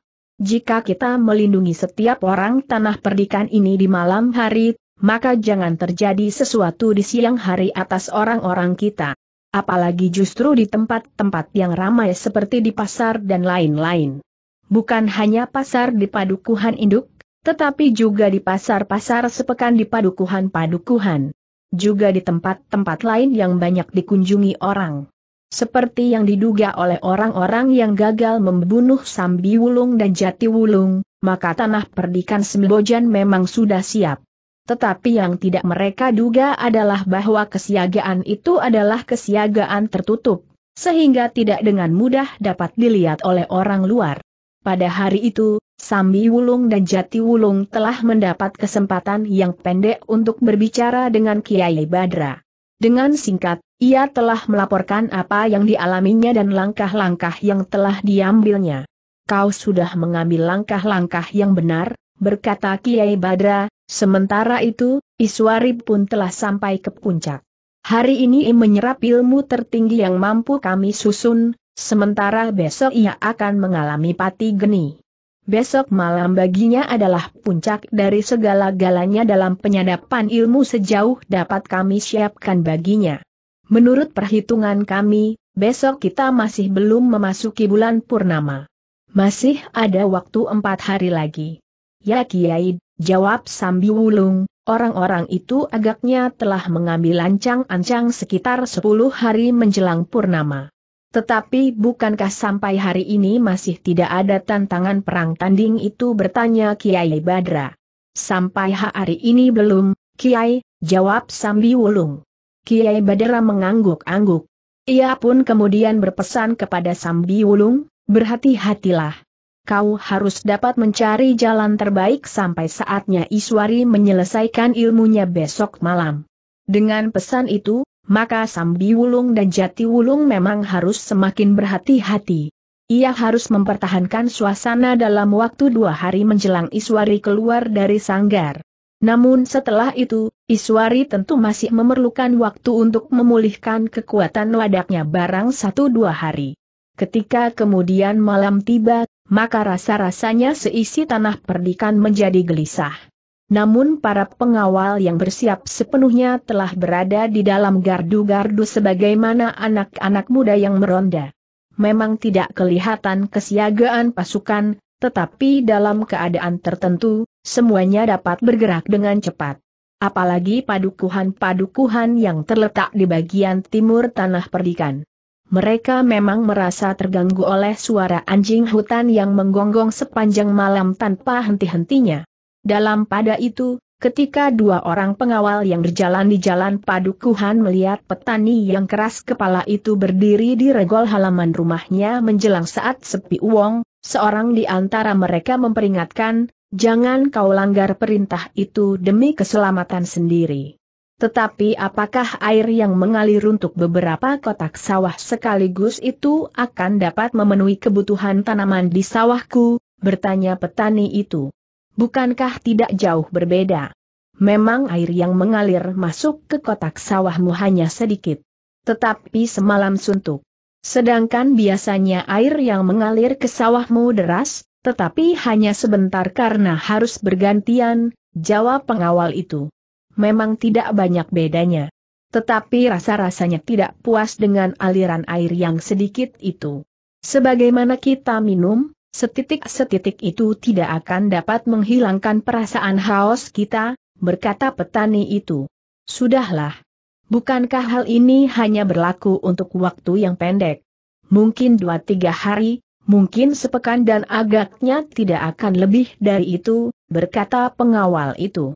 Omong kosong, jawab petani itu, jika bahaya yang mengancam tanah perdikan ini masih saja ada, maka bukankah peraturan untuk tidak keluar malam dari padukuhan itu masih berlaku? Kedua pengawal itu saling berpandangan. Seorang yang lain tiba-tiba saja membentak, kau jangan keras kepala seperti itu. Kami bermaksud baik. jika kau melanggarnya, maka akibatnya akan tertimpa kepada dirimu. Bukan kepada aku, atau orang lain. Kedua orang pengawal itu pun kemudian telah meninggalkannya. Petani yang keras kepala itu termangu-mangu sejenak. Namun rasa-rasanya ia tidak puas dengan keadaan sawahnya. Ia memang telah membuka pematang. Tetapi karena beberapa kotak sawah akan diairi bersama. Sama, maka tentu air yang mengalir ke kotak sawahnya hanya kecil saja. Meskipun demikian, betapapun ada dorongan di dalam dirinya untuk melihat sawahnya, ia masih juga ragu-ragu. Tetapi mereka hanya menakut-nakuti saja, gumamnya. Untuk beberapa lama ia masih saja berada di regol halamannya.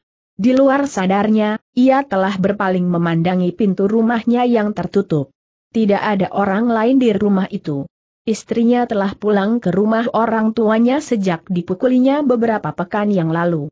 Ayahnya yang tua sama sekali tidak betah tinggal di rumah itu, sehingga ia lebih senang tinggal bersama anak perempuannya. Sementara itu dalam perkawinannya yang telah berlangsung tujuh tahun, petani itu belum dikurniai seorang anak pun. Bahkan di saat-saat terakhir, telah timbul niatnya untuk kawin lagi. Bukan hanya karena ia tidak mempunyai anak dengan istrinya yang pertama, tetapi perempuan yang diinginkannya itu adalah seorang janda yang kaya. Seorang janda kaya akan dapat memberinya uang cukup untuk berada di kalangan adu jago. Atau bermain dadu atau bentuk-bentuk judi yang lain. Namun akhirnya sejenak kemudian orang itu memutuskan, aku akan pergi ke sawah. Tidak akan ada apa-apa. Mereka hanya omong kosong saja. Mereka menganggap bahwa orang-orang tanah perdikan yang bukan pengawal adalah penakut.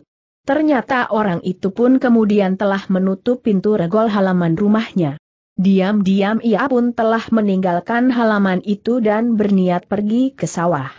Tetapi petani yang keras kepala itu tidak mau melewati jalan induk. Ia telah melalui jalan butulan yang tidak diawasi langsung.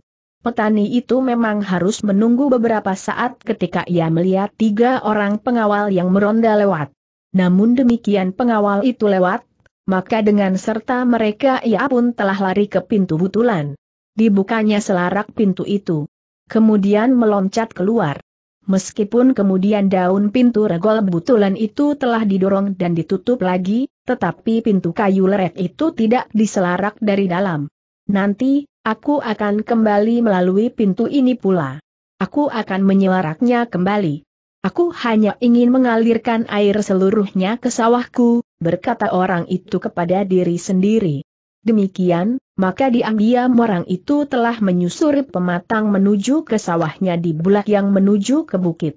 Sawah orang itu terletak tidak terlalu jauh dengan sawah kedua orang yang dijumpai Sambi Wulung dan Jati Wulung di gubuknya di malam sebelumnya. Namun kedua orang itu tidak ada di gubuknya. Bukan hanya karena keduanya tidak mendapat giliran air malam itu. Tetapi keduanya memang mematuhi perintah untuk tidak keluar dari padukuhan di malam hari. Petani yang keras kepala itu berjalan dengan tergesa-gesa di pematang. Ketika ia menengadahkan wajahnya, dilihatnya cahaya bulan yang kuning cerah meskipun bulan masih belum bulat. Semua omong kosong, geram petani itu, tidak ada apa-apa di sini. Namun tengkuknya memang meremang ketika ia mendengar suara anjing hutan di kejauhan. Anjing hutan itu ada di balik bukit, gumamnya. Namun hatinya menjadi tenang ketika ia melihat gubuk di tengah sawah. Katanya kepada diri sendiri, jika aku meloncat naik ke gubuk itu, betapapun banyaknya anjing hutan tidak akan dapat menyerang aku. Petani itu pun kemudian telah sampai ke parit yang mengalir tidak begitu deras. Beberapa pematang yang seharusnya bergilir telah dibuka semuanya. Sehingga air pun telah terbagi menjadi beberapa bagian. Meskipun menurut perhitungan, jika air yang terbagi itu mengalir semalam suntuk, kotak sawahnya akan cukup basah pula, namun ia lebih senang air itu mengalir dengan deras ke kotak sawahnya. Baru ke kotak sawah orang lain.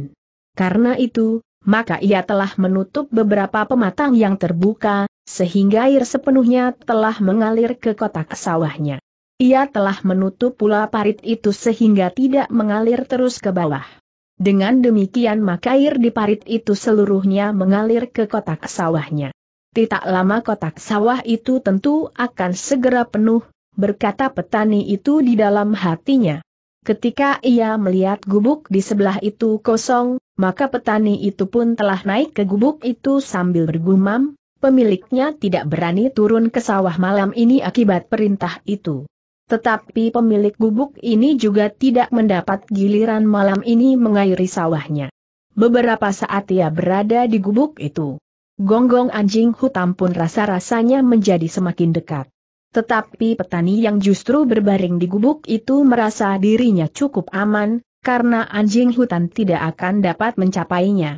Malam itu di padukuhan-padukuhan di tanah perdikan memang terasa sepi. Kegelisahan ternyata sudah mulai menyelimuti tanah perdikan itu. Perintah untuk tidak keluar dari padukuhan memang membuat setiap orang bertanya-tanya, apa yang dapat terjadi atas mereka, jika mereka melanggar perintah itu. Jika ayam jantan berkokok di pagi hari menjelang fajar, maka rasa-rasanya setiap orang dapat mulai menarik nafas lega.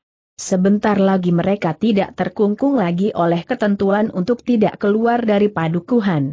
Mereka, terutama yang di malam hari mengairi sawahnya ingin segera pergi ke sawah untuk melihat, apakah carrion mereka tempuh cukup membasahi kotak-kotak sawah mereka. Karena itulah maka pagi-pagi mereka sudah bersiap-siap. Demikian regol padukuhan dibuka di saat langit mulai terang, maka beberapa orang telah keluar dari padukuhan mereka sambil membawa cangkul dan parang menuju ke sawah mereka masing-masing. Mereka adalah orang-orang yang kebetulan mempunyai kotak-kotak sawah yang berdekatan. Namun beberapa saat kemudian bukan saja padukuhan itu, tetapi seluruh tanah perdikan menjadi gempar para penghubung berkuda dengan cepat telah membawa berita. Seorang petani telah terbunuh di pematang, dikoyak-koyak oleh anjing liar. Berita itu cepat pula sampai ke telinga Sambi Wulung dan Jati Wulung.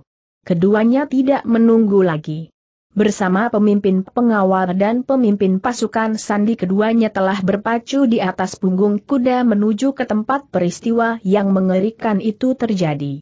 Orang-orang yang berkerumun di bawah perlindungan pasukan pengawal yang dengan cepat sampai ke tempat itu, telah mengambil kesimpulan bahwa orang itu telah dibunuh oleh sekelompok anjing hutan yang lapar.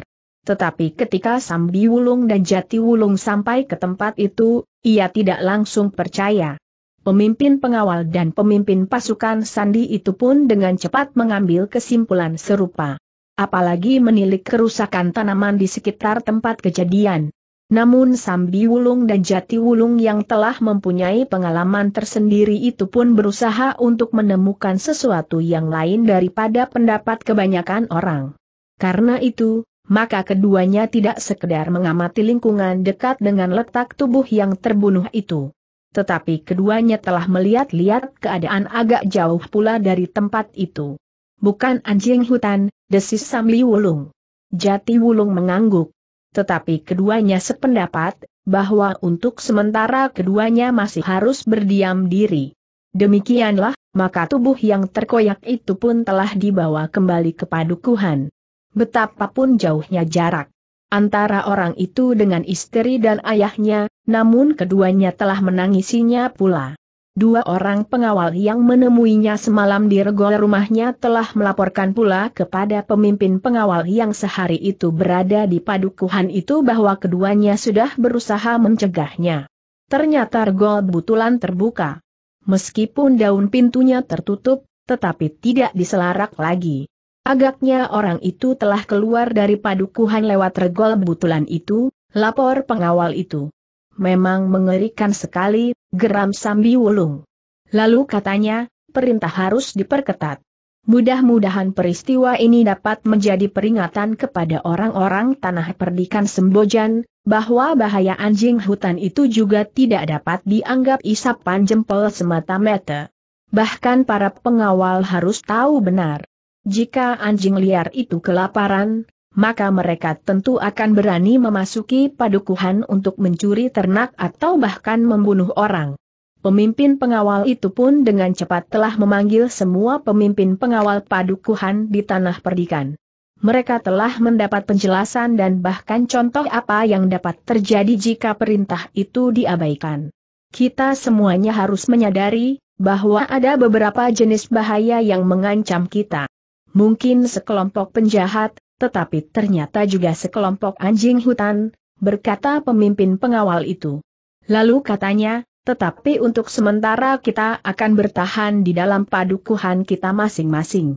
Korban telah jatuh, berkata seorang pemimpin pengawal padukuhan, apakah kita masih harus berdiam diri? Apa yang dapat kita lakukan selain bertahan bertanya pemimpin pengawal itu, apakah kita akan menyerang ke seberang bukit, tempat anjing liar itu bersarang? Atau kita akan memasuki setiap kademangan di sekitar tanah perdikan ini untuk mencari orang-orang jahat yang mulai membayangi tanah perdikan kita. Para pemimpin pengawal di padukuhan-padukuhan itu mengangguk-angguk. Mereka memang belum mempunyai bahan yang cukup untuk mengambil langkah-langkah. Karena itu, maka yang dapat mereka lakukan dalam waktu dekat itu memang hanya bertahan di padukuhan masing-masing. Tetapi pasukan di padukuhan induk telah menyiapkan kelompok pengawal berkuda yang akan dapat memberikan bantuan dengan segera ke padukuhan-padukuhan yang memerlukan. Meskipun kita tidak memiliki kuda yang baik, namun dengan kuda-kuda kita, agaknya akan dapat dilakukan gerakan yang lebih cepat dari sekedar berjalan kaki, berkata pemimpin pengawal itu.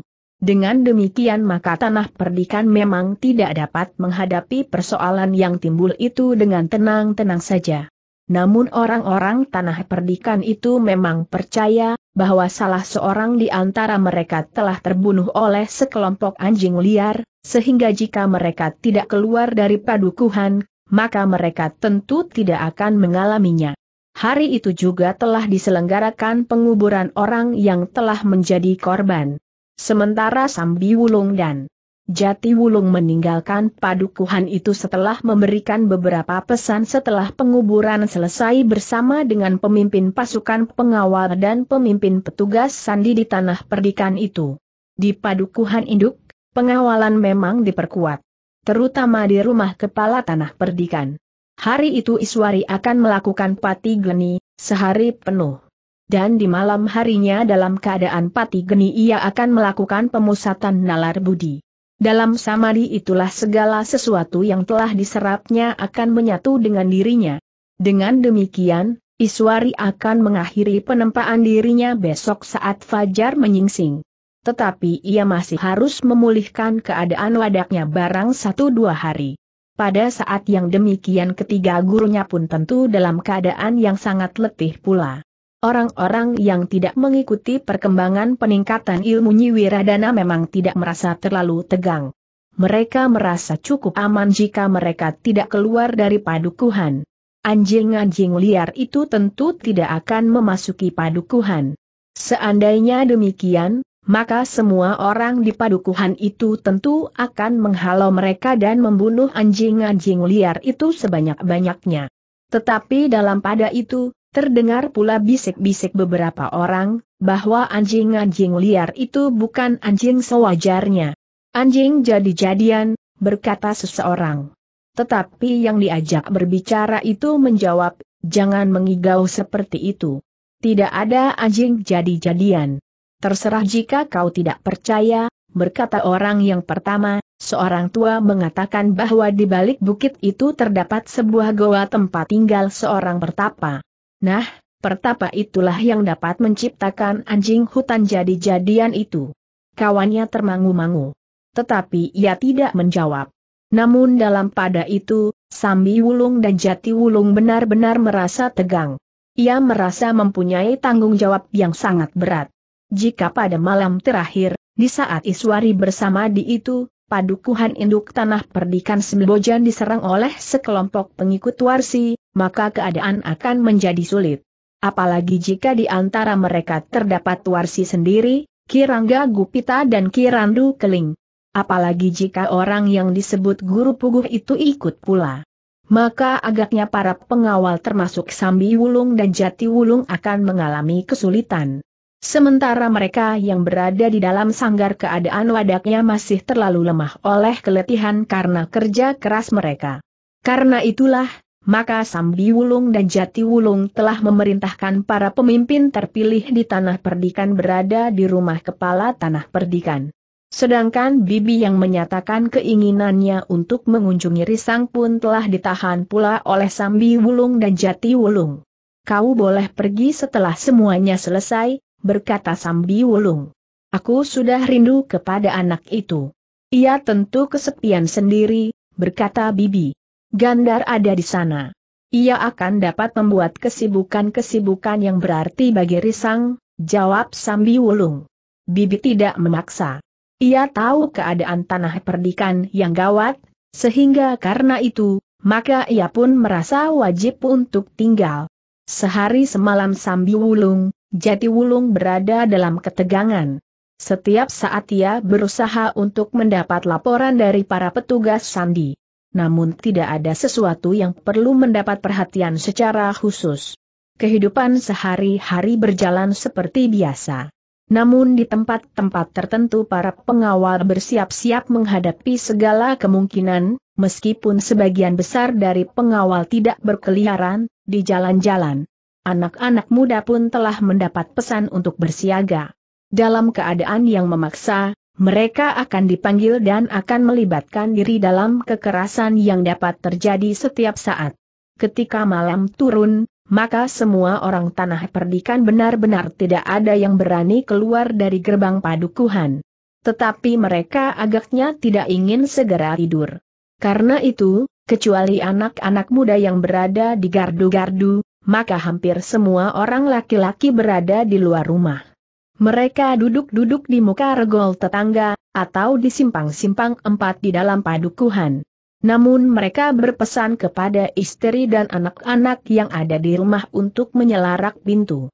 Aku takut kakang, seorang perempuan mencoba mencegah suaminya yang keluar. Jangan takut. Di jalan-jalan, di gardu-gardu, di simpang-simpang jalan dan di mana-mana berkeliaran orang-orang. Padukuhan ini Semuanya bersenjata, sehingga tidak seekor serigala pun akan-akan dapat lolos dari maut jika sekelompok di antara mereka memasuki padukuhan ini, berkata suaminya. Namun katanya pula, meskipun demikian, tutup pintu rapat-rapat. Jika terjadi sesuatu, pukul kentongan kecil itu.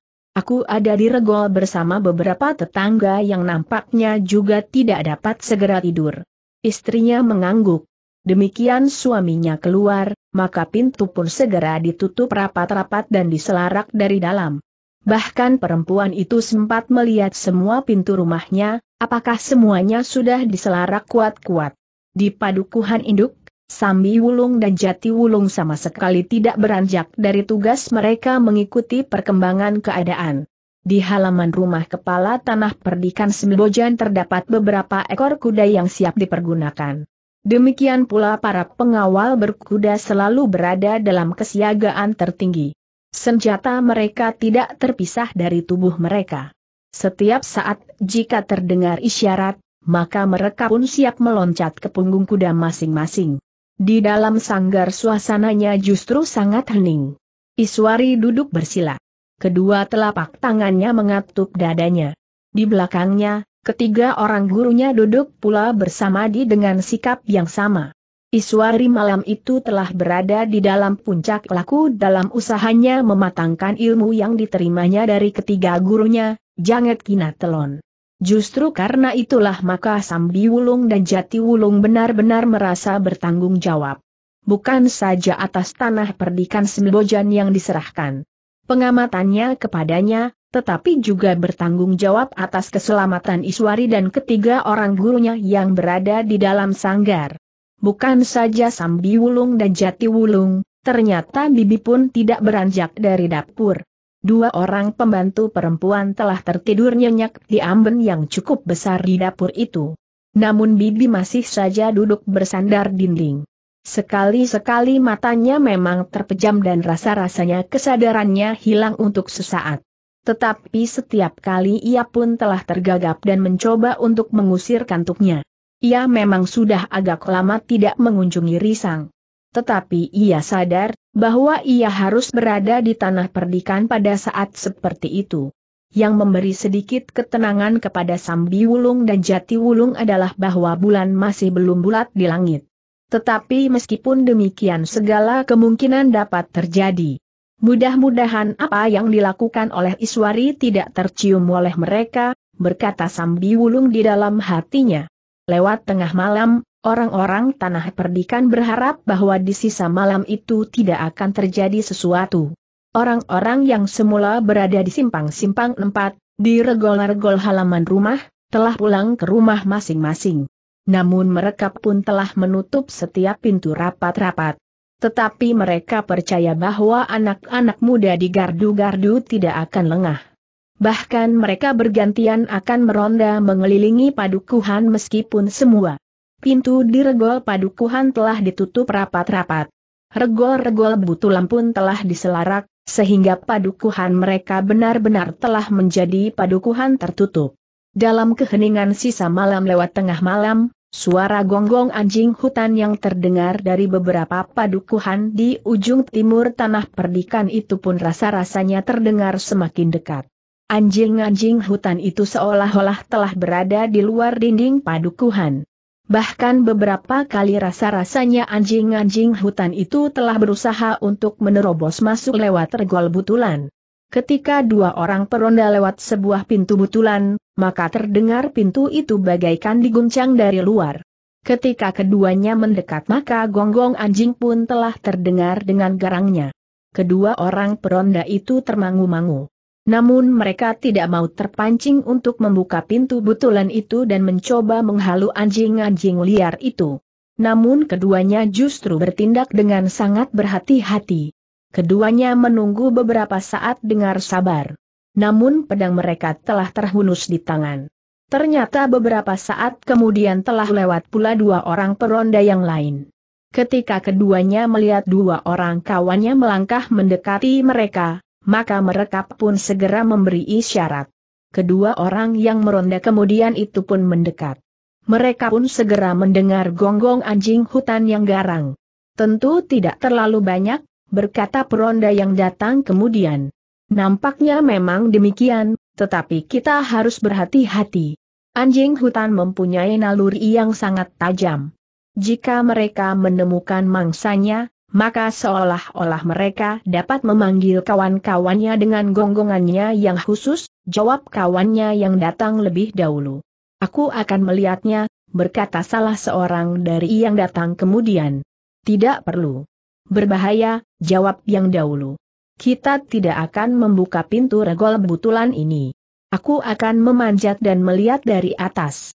Anjing hutan itu tidak akan dapat memanjat. Sehingga sama sekali tidak akan berbahaya bagiku, berkata pengawal yang datang kemudian. Jangan, yang terdahulu masih mencoba mencegah. Tetapi kawannya itu tidak menghiraukannya. Ia pun kemudian telah bersiap-siap untuk meloncat ke atas dinding padukuhan itu, sementara kawannya masih juga memperingatkan, lebih baik tidak kau lakukan. Anjing hutan itu mempunyai beberapa macam tabiat yang tidak mudah dipahami. Sambil tersenyum kawannya berkata, aku ingin melihat wujud anjing-anjing hutan itu. Kawan-kawannya hanya dapat menarik nafas dalam-dalam. Sementara itu pengawal itu pun telah meloncat ke atas dinding. Namun demikian ia berada di atas dinding, maka tiba-tiba menurut penglihatannya, seekor anjing hutan yang sangat besar telah meloncat pula. Giginya yang kuat telah menggigit satu kakinya yang telah berada di luar dinding, dan menariknya dengan sangat kuat. Untunglah bahwa ia masih sempat berpegangan dengan tangannya kuat-kuat sambil meletakkan tubuhnya pada dinding. Semenara itu ia sempat pula berteriak minta tolong. Ketiga orang kawannya terkejut.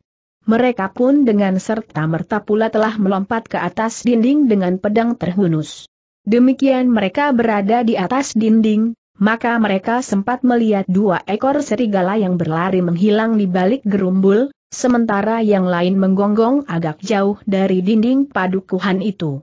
Hanya tiga ekor, desis yang seorang tetapi kawannya tidak sempat memperhatikannya, karena mereka sibuk menolong pengawal yang kakinya telah terkoyak oleh gigi-gigi anjing hutan liar yang garang itu. Untung kau belum terseret turun. Jika kau terjatuh, maka tubuhmu akan hancur dikoyak-koyak oleh anjing-anjing liar itu seperti yang telah terjadi pada petani yang telah melanggar perintah itu, berkata seorang kawannya. Dengan susah payah, maka tubuh yang menjadi lemah karena darah yang mengalir itu telah diturunkan. Dengan cepat pula, pengawal yang kakinya koyak itu telah dibawa ke Banjar. Apa yang terjadi beberapa orang kemudian telah mengerumuninya. Tiga orang pengawal yang lainlah yang kemudian bercerita, sementara orang yang terluka itu dengan cepat telah mendapat pengobatan. Namun ternyata bahwa lukanya cukup parah. Gigi harimau yang tajam itu benar-benar telah mengoyakkan betisnya sehingga hampir sampai ke tulang. Peristiwa itu pun dengan cepat telah sampai kepada Sambi Wulung dan Jati Wulung. Di saat Fajar menyingsing, maka empat orang pengawal dan dua orang petugas sandi telah menuju ke padukuhan induk berkuda. Dua orang di antara mereka telah membawa panah sendaren. Jika terjadi sesuatu di perjalanan, maka mereka akan segera melepaskan panah sendaren itu, sehingga bantuan akan segera berdatangan. Terutama dari padukuhan terdekat. Demikian Sambi Wulung dan Jati Wulung mendengar berita itu, maka mereka memang menjadi agak kebingungan. Mereka sebenarnya ingin menyaksikan pengawal yang hampir saja menjadi korban kedua itu. Tetapi jika mereka meninggalkan padukuhan induk maka kemungkinan yang lebih parah akan dapat terjadi. Karena itu, maka yang kemudian pergi ke padukuhan itu hanyalah pemimpin pengawal disertai oleh pemimpin petugas sandi tanah perdikan Sembojan. Sementara itu, kesiagaan di padukuhan induk sama sekali tidak berkurang. Pemimpin pasukan pengawal dan pemimpin petugas sandi itu memang sependapat, bahwa kaki pengawal itu memang dikoyak oleh gigi anjing hutan. Namun di padukuhan induk, Sambi Wulung dan Jati Wulung telah meragukannya. Bahkan mereka berpendapat, bahwa tiga ekor anjing hutan raksasa itu tentu ada hubungannya dengan tiga orang yang telah dijumpainya di bulak di dekat kaki bukit itu. Dalam pada itu, di balik bukit, di antara lereng yang curam memang terdapat sebuah goa yang hampir tidak diketahui orang. Namun sekelompok orang ternyata justru telah mempergunakan goa itu untuk sarang mereka.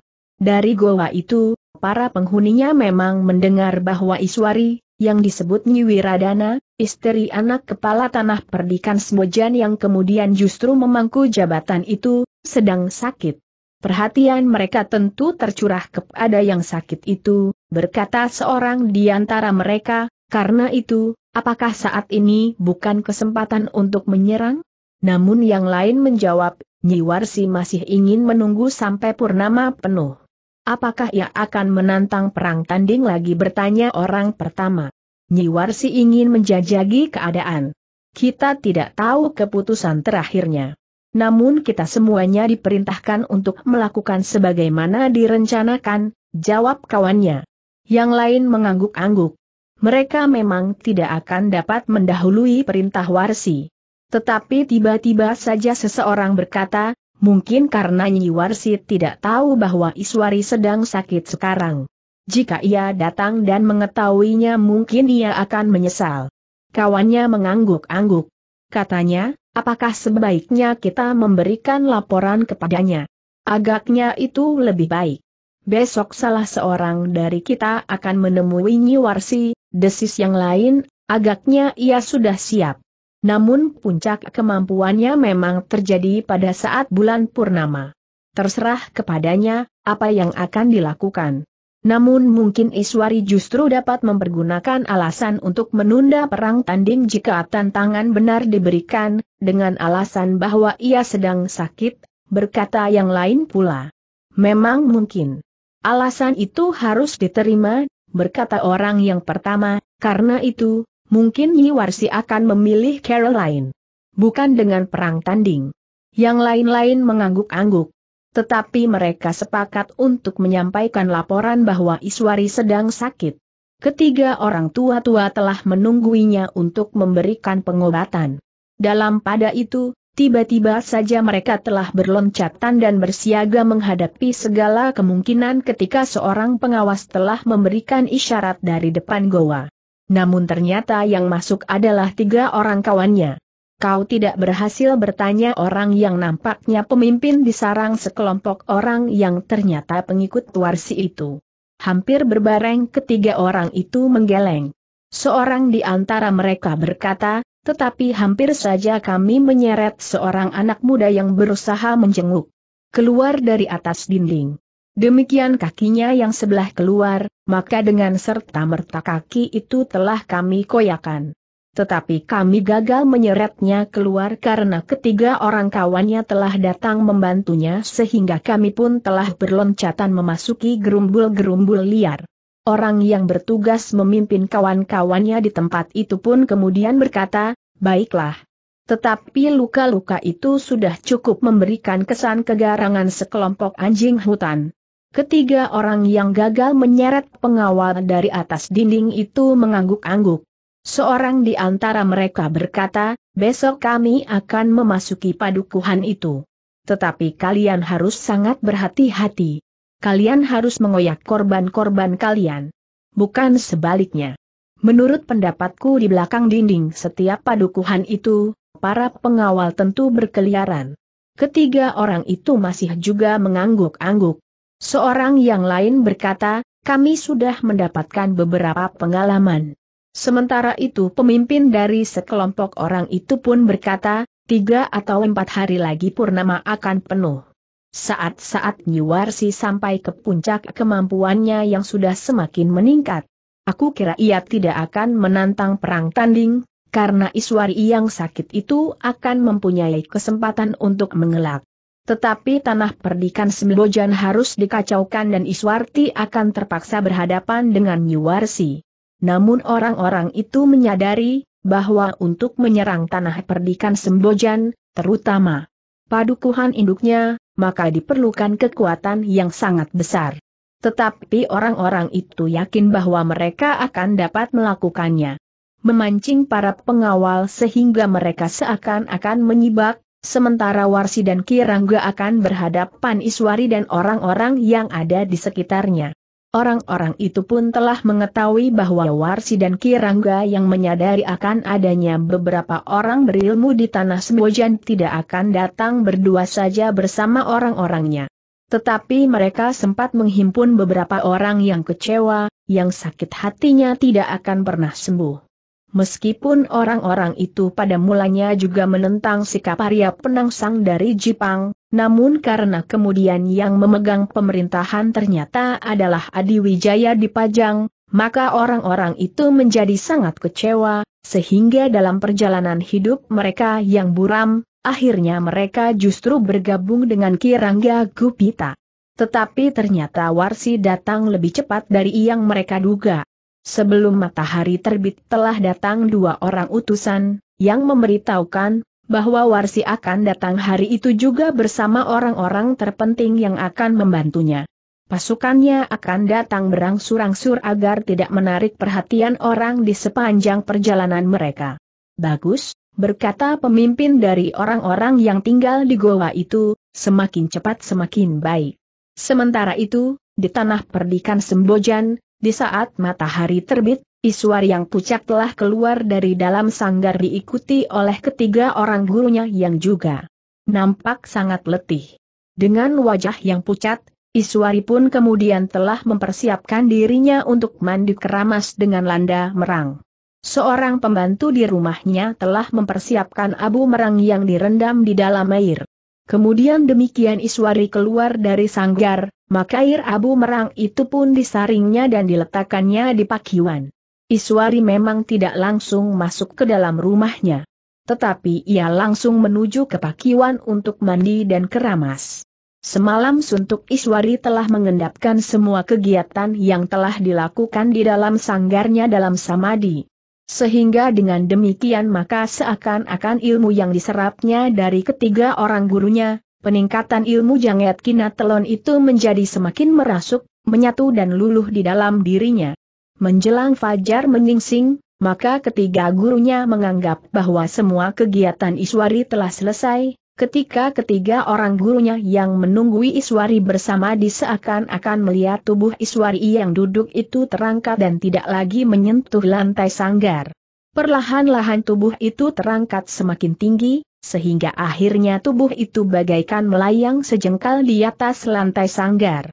Iswari ternyata bertahan untuk beberapa saat dalam keadaannya. Namun kemudian perlahan-lahan pula tubuh itu turun dan kembali berjejak pada lantai sanggar itu.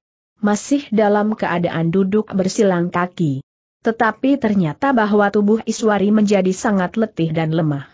Seakan-akan tenaganya telah terhisap habis dalam pemusatan nalar budinya.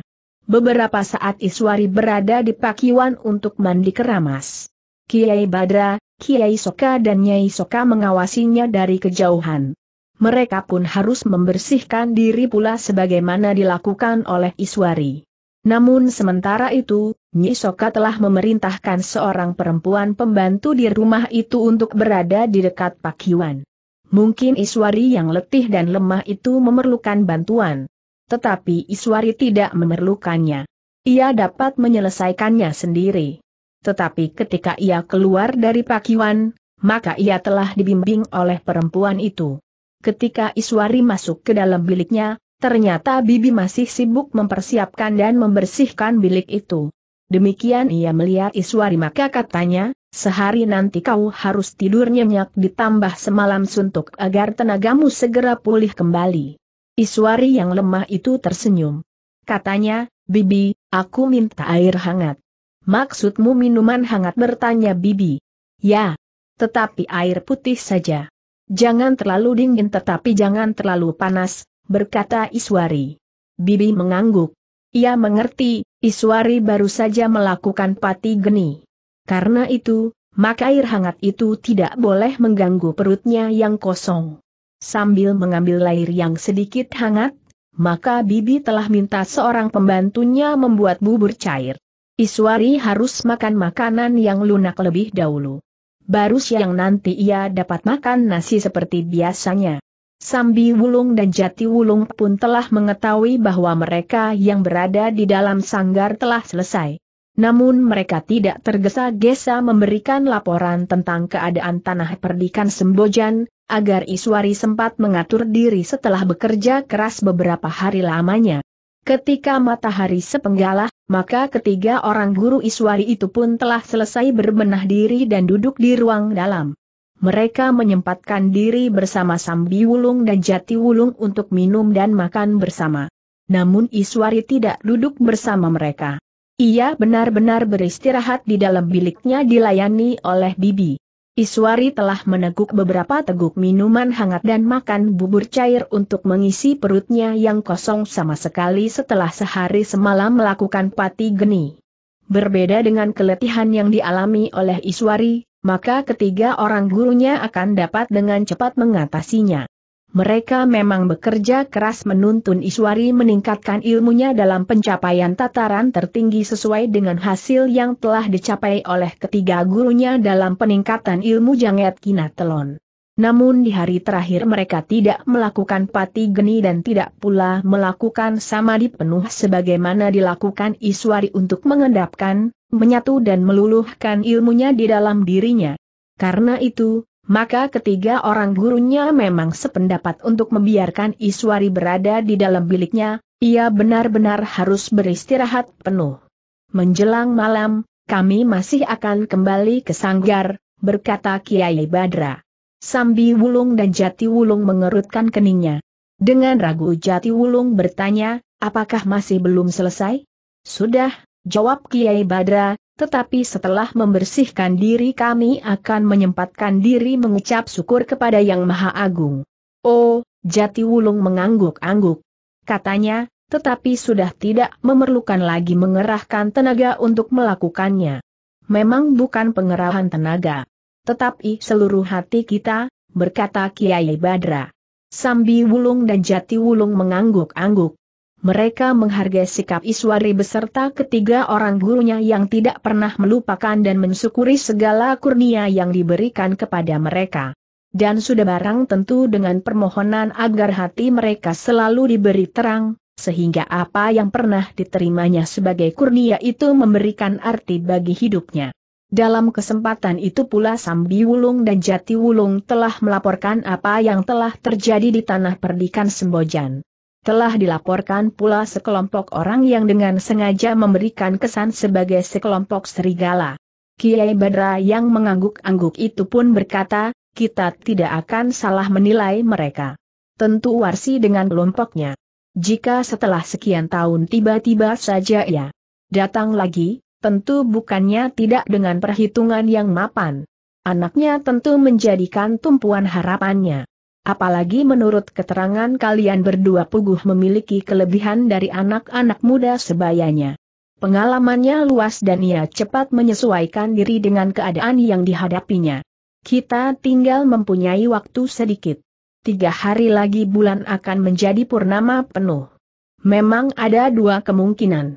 Warsi mengajukan tantangan perang tanding, atau mereka menyerang padukuhan induk ini dengan mengerahkan kekuatan yang barangkali telah berhasil mereka kumpulkan selama ini.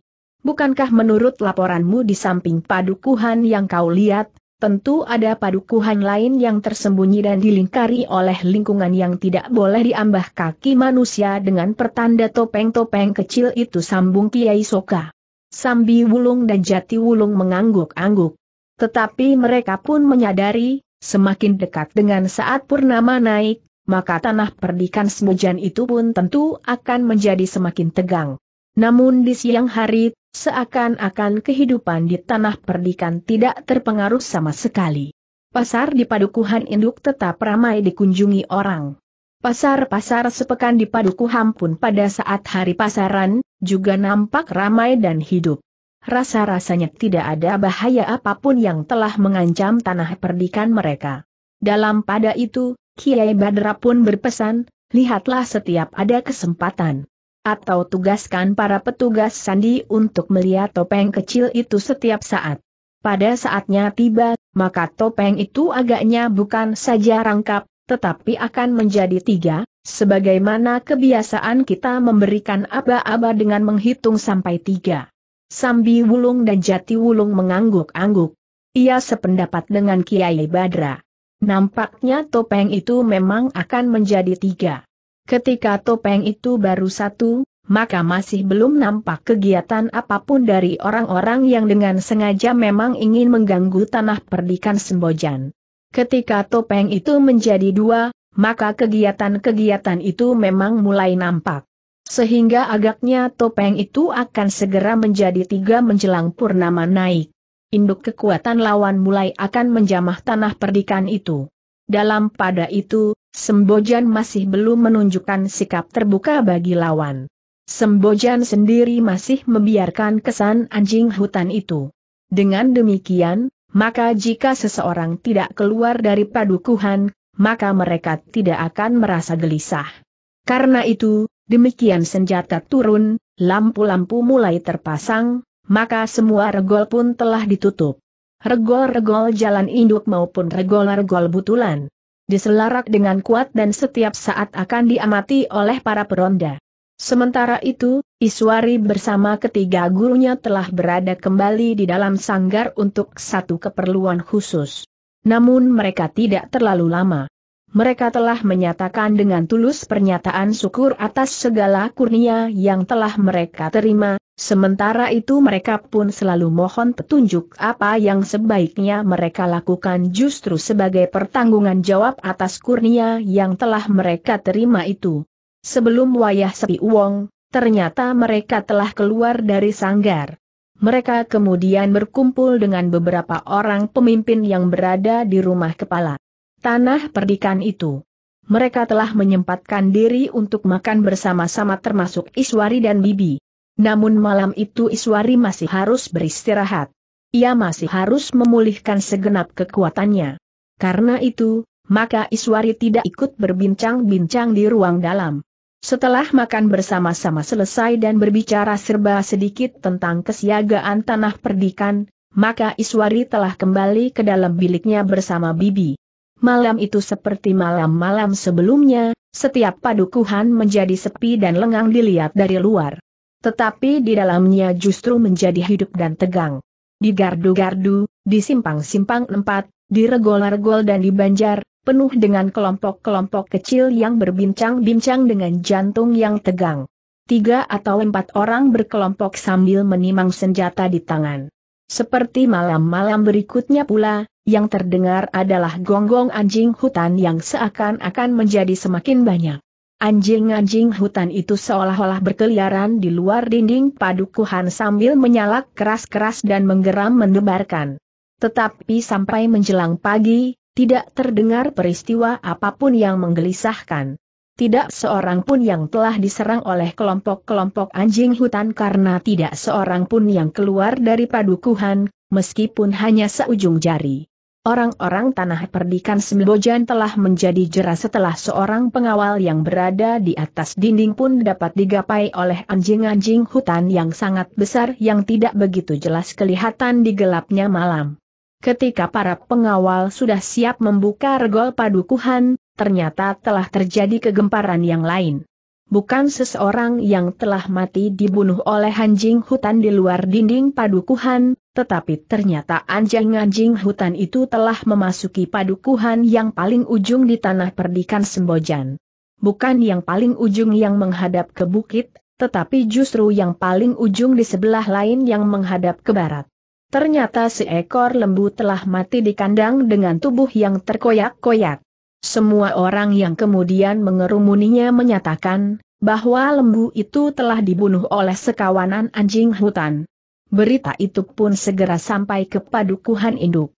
Sambi Wulung dan Jati Wulung serta para pemimpin yang lain dengan tergesa-gesa telah pergi ke padukuhan itu. Para pemimpin tanah perdikan Sembojan memang sependapat, bahwa lembu itu memang telah dibunuh oleh sekelompok serigala yang buas. Hanya Sambi Wulung dan Jati Wulung sajalah yang mempunyai kesimpulan lain. Namun justru karena ketiga orang guru Iswari telah lepas dari tugas berat mereka, serta mereka telah sempat beristirahat secukupnya, maka Sambi Wulung pun mulai menyatakan pendapatnya, menurut pendapatku ya NG membunuh lembu ini bukan sekelompok anjing hutan. Lalu siapa menurut pendapatmu bertanya Ki Bekel di padukuhan itu? Beberapa orang. Aku tidak yakin bahwa sekelompok anjing hutan dapat masuk ke dalam padukuhan yang tertutup ini. Aku pun tidak yakin bahwa sekelompok anjing hutan tidak menimbulkan suara yang gaduh di saat mereka membunuh korbannya, berkata Sambi Wulung. Jika yang membunuh itu beberapa orang, kenapa mereka meninggalkan bekas seperti itu bertanya Ki Bekel. Mereka memang ingin memberikan kesan, bahwa yang telah mengganggu ketenangan tanah perdikan ini adalah sekelompok anjing hutan, tetapi bukan kebanyakan anjing hutan. Mereka dengan sengaja telah menimbulkan ketakutan dan kegelisahan pada rakyat tanah perdikan Sembojan. Perlahan-lahan, tetapi akhirnya tentu akan merata, pendapat bahwa di belakang bukit itu terdapat seorang pertapa yang dapat menciptakan sekelompok anjing hutan yang dapat melakukan perintahnya dengan baik termasuk menakut-nakuti rakyat tanah perdikan ini. Orang-orang itu mulai merenungi kata-kata Sambi Wulung. Sementara itu pemimpin pasukan pengawal itu pun berdesis perlahan-lahan di telinga Sambi Wulung, kenapa kau tidak mengatakannya sejak semula? Aku sedang meyakinkan diriku sendiri. Pengalamanku sendiri tentang ketiga orang yang mengejarku itu memberikan perbandingan dengan apa yang terjadi, berkata Sambi Wulung. Tetapi pengawal itu melihat sendiri anjing-anjing liar yang menyerangnya, berkata pemimpin pengawal itu. Apakah ia yakin bahwa yang dilihatnya adalah serigala? Menurut ceritanya yang dilihatnya adalah anjing hutan raksasa yang meloncat ke dalam gerumbul-gerumbul liar di pinggir bulak. Menurut penglihatan kami kemarin, tidak ada tanaman yang rusak di sawah itu. Sebab menurut naluri, seseorang tidak akan menginjak-injak tanaman padi jika tidak terpaksa sekali, jawab Sambi Wulung. Pemimpin pengawal itu mengangguk-angguk. Katanya, nampaknya memang demikian. Tetapi kita masih meyakinkannya. Sambi Wulung mengangguk-angguk, sementara itu Jati Wulung berkata, Nampaknya pengobatan atas Nyi Wiradana telah selesai. kita akan dapat mengatur pertahanan jauh lebih baik dari sebelumnya. Kita tidak akan merasa cemas lagi, bahwa padukuhan induk akan disergap oleh sekelompok orang yang memang ingin mengacaukan tanah perdikan Sembojan. Kita semua sudah siap. Hanya Nyiwiradana barangkali masih memerlukan sehari semalam untuk memulihkan kesehatan dan kekuatannya sebagaimana sebelumnya. Bahkan seandainya datang tantangan perang tanding pun ia tidak akan mengelak lagi. Pemimpin pengawal itu mengangguk-angguk. Katanya, baiklah. Kita akan mempersiapkan semuanya. Dengan demikian, maka sejak saat itu, Sambi Wulung, Jati Wulung dan para pemimpin tanah perdikan itu memperingatkan rakyat tanah perdikan, bahwa mereka tidak sekedar menghadapi sekelompok serigala tetapi sekelompok orang yang dengan sengaja ingin mengacaukan tanah perdikan itu. Pernyataan itu justru telah menimbulkan kesan yang lain. Jika semua rakyat tanah perdikan merasa ngeri karena mereka harus berhadapan dengan kelompok anjing hutan yang buas yang dapat menyergap mereka dengan tiba-tiba dalam jumlah yang sangat besar, sedangkan jika mereka melawan dan menang, mereka tidak akan mempunyai kebanggaan apa pun juga, maka perlawanan terhadap kelompok orang-orang yang akan menghancurkan tanah perdikan Sembojan akan mempunyai nilai yang berbeda. Jika terpaksa mereka menjadi korban, maka mati di ujung tombak lawan nilainya berbeda dengan jika mereka mati karena taring anjing-anjing hutan. Karena itu, maka rakyat tanah perdikan Sembojan itu justru menjadi semakin geram menghadapi suasana mereka semakin merasa berkewajiban untuk ikut melibatkan diri dalam pertahanan tanah perdikan mereka. Di hari itu, maka mulai tersiar kabar bahwa sebenarnya mereka tidak berhadapan dengan serigala. Mereka berhadapan dengan sekelompok orang yang pura-pura menjadi anjing hutan. Juga bukan anjing hutan jadi-jadian sebagaimana dikabarkan oleh beberapa orang. Di pasar-pasar, di kedai-kedai dan di tempat orang banyak berkumpul, berita itu semakin tersebar luas. Setiap telinga yang mendengar telah meneruskannya ke telinga orang lain, sambung bersambung. Namun dalam pada itu, pemimpin pengawal tanah perdikan pun telah mulai pula dengan penggunaan pasukan secara terbuka. Para prajurit tidak lagi sekedar bersiap-siap di dalam barak dan hanya akan bertindak jika terdapat isyarat. Sementara inti kekuatannya diletakkan di padukuhan induk, terlebih-lebih lagi di sekitar rumah kepala tanah perdikan. Sejak hari itu, maka pasukan pengawal tanah perdikan dalam kelompok-kelompok telah berada tersebar di padukuhan induk, sementara para pengawal di padukuhan-padukuhan pun telah bersiaga dalam kelompok-kelompok mereka masing-masing dan telah mempersiapkan diri di Banjar. Hanya kelompok-kelompok cadangan sajalah yang masih tetap tinggal di barak-barak mereka. Sementara itu anak-anak muda pun telah bersiap-siap pula menghadapi segala kemungkinan. Bahkan bukan saja anak-anak muda. Tetapi setiap laki-laki yang masih mampu menggenggam senjata telah bersiap-siap. Bukan sekedar menghadapi kelompok-kelompok anjing hutan, tetapi sekelompok orang-orang yang akan berbuat jahat terhadap kampung halaman mereka. Perubahan sikap para pengawal itu memang sudah diperhitungkan oleh orang-orang di seberang bukit. Apalagi ketika kemudian Warsi, Kirangga dan beberapa orang baru bersama pengikut mereka telah datang ke balik bukit. Ternyata bahwa mereka sama sekali tidak mengeluh meskipun tempat yang disediakan bagi mereka bukan tempat yang pantas dan memadai. Namun tempat itu telah mencukupi kebutuhan di saat-saat mereka menunggu. Tempat itu sudah cukup dapat melindungi mereka dari hujan dan panas. Namun satu hal yang sulit untuk mereka atasi adalah menyembunyikan asap yang mengepul di saat-saat mereka menyiapkan makan bagi orang-orang yang semakin banyak. Sebelumnya mereka dapat memanasi makanan dan minuman di malam hari, sehingga tidak banyak orang yang memperhatikan asap yang memang hanya sedikit dan pada waktu yang tidak ajek.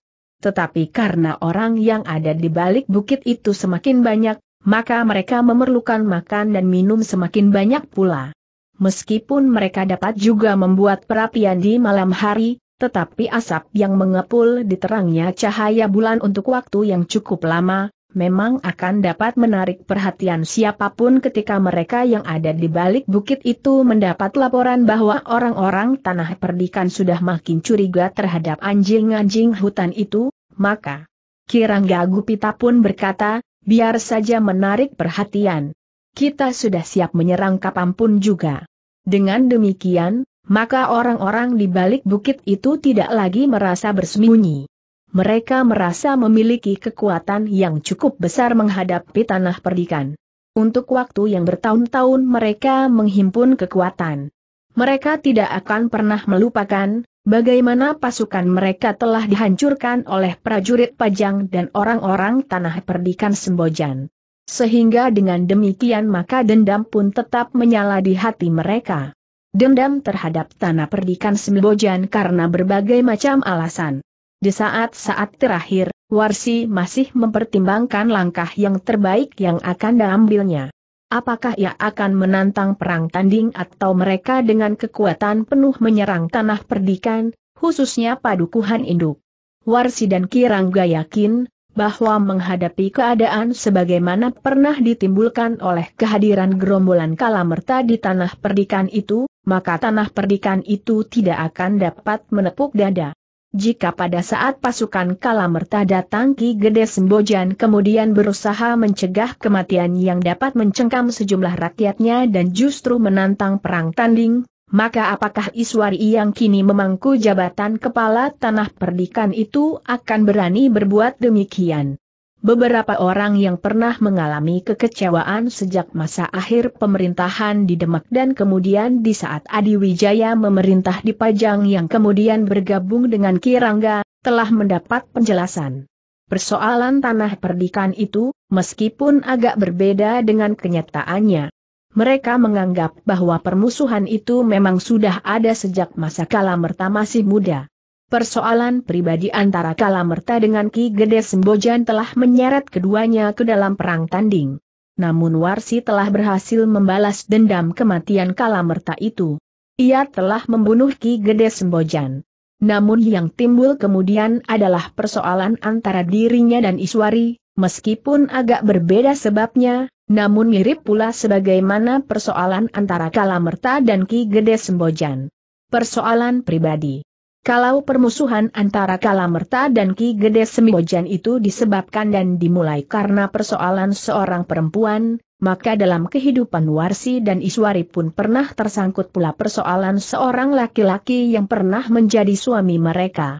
Bahkan kedua-duanya mempunyai anak laki-laki yang merasa berhak menggantikan kedudukannya sebagai kepala tanah perdikan di Sembojan. Warsi memang sudah mendapat laporan, bahwa untuk beberapa saat lamanya Iswari sedang sakit. Jika ia menantang perang tanding, maka keadaan itu akan dapat menjadi alasan yang sah untuk menundanya. Sementara itu, Warsi memang memerlukan satu keadaan yang khusus. Di saat purnama penuh, ia merasa berada di puncak kemampuannya ketika ia berbicara dengan beberapa orang yang memiliki ilmu yang tinggi maka mereka pun sependapat, bahwa Warsi tidak perlu menantang perang tanding. Jika Iswari memanfaatkan keadaannya maka ia dapat minta perang tanding itu ditunda beberapa hari setelah ia sembuh. Saat itu tentu bukan saat yang terbaik. Meskipun barangkah bulan masih ada di langit, tetapi tentu bukan bulan yang bulat sepenuhnya. Kita AKN mengadakan pemanasan, berkata salah seorang yang telah bergabung dengan Warsi, kita akan menyerang salah satu dari padukuhan itu sekedar untuk menjajagi kekuatan para pengawalnya. Malam anti kita akan dapat melakukannya, berkata Warsi, kita sudah tidak lagi bermain serigala. Kita akan datang ke sebuah padukuhan yang agak besar sehingga kekuatan pengawalnya agak besar pula. Dengan demikian kita akan mempunyai gambaran yang pantas untuk membuat perbandingan. Besok malam kita beristirahat dan malam berikutnya adalah malam purnama penuh. Orang-orang yang bergabung bersamanya mengangguk-angguk. Seorang yang berwajah pucat berkata, jika demikian kita jangan terpancing untuk bertempur habis-habisan malam nanti. Kita harus dapat mengekang diri, berkat Akirangga, kita hanya sekedar menjajagi. Jika orang-orang berilmu tinggi yang ada di tanah perdikan itu berdatangan, maka kita akan menghindar. Semuanya sependapat, sehingga karena itu, maka tidak ada persoalan yang timbul di antara mereka. Bahkan mereka pun sependapat untuk membawa sebagian saja dari kekuatan yang ada di balik bukit itu. Hari itu orang-orang yang berada di balik bukit telah mempersiapkan diri mereka untuk mengadakan penjajagan ke salah satu padukuhan di tanah perdikan Sembojan. Sebagai orang yang pernah tinggal di tanah perdikan, maka Kirangga dan Warsi telah dapat membuat rencana yang paling baik yang akan mereka lakukan. Namun dalam pada itu, setelah para petugas sandi yakin bahwa yang telah mengganggu tanah perdikan itu ternyata bukan anjing hutan, maka mereka memang merasa malu.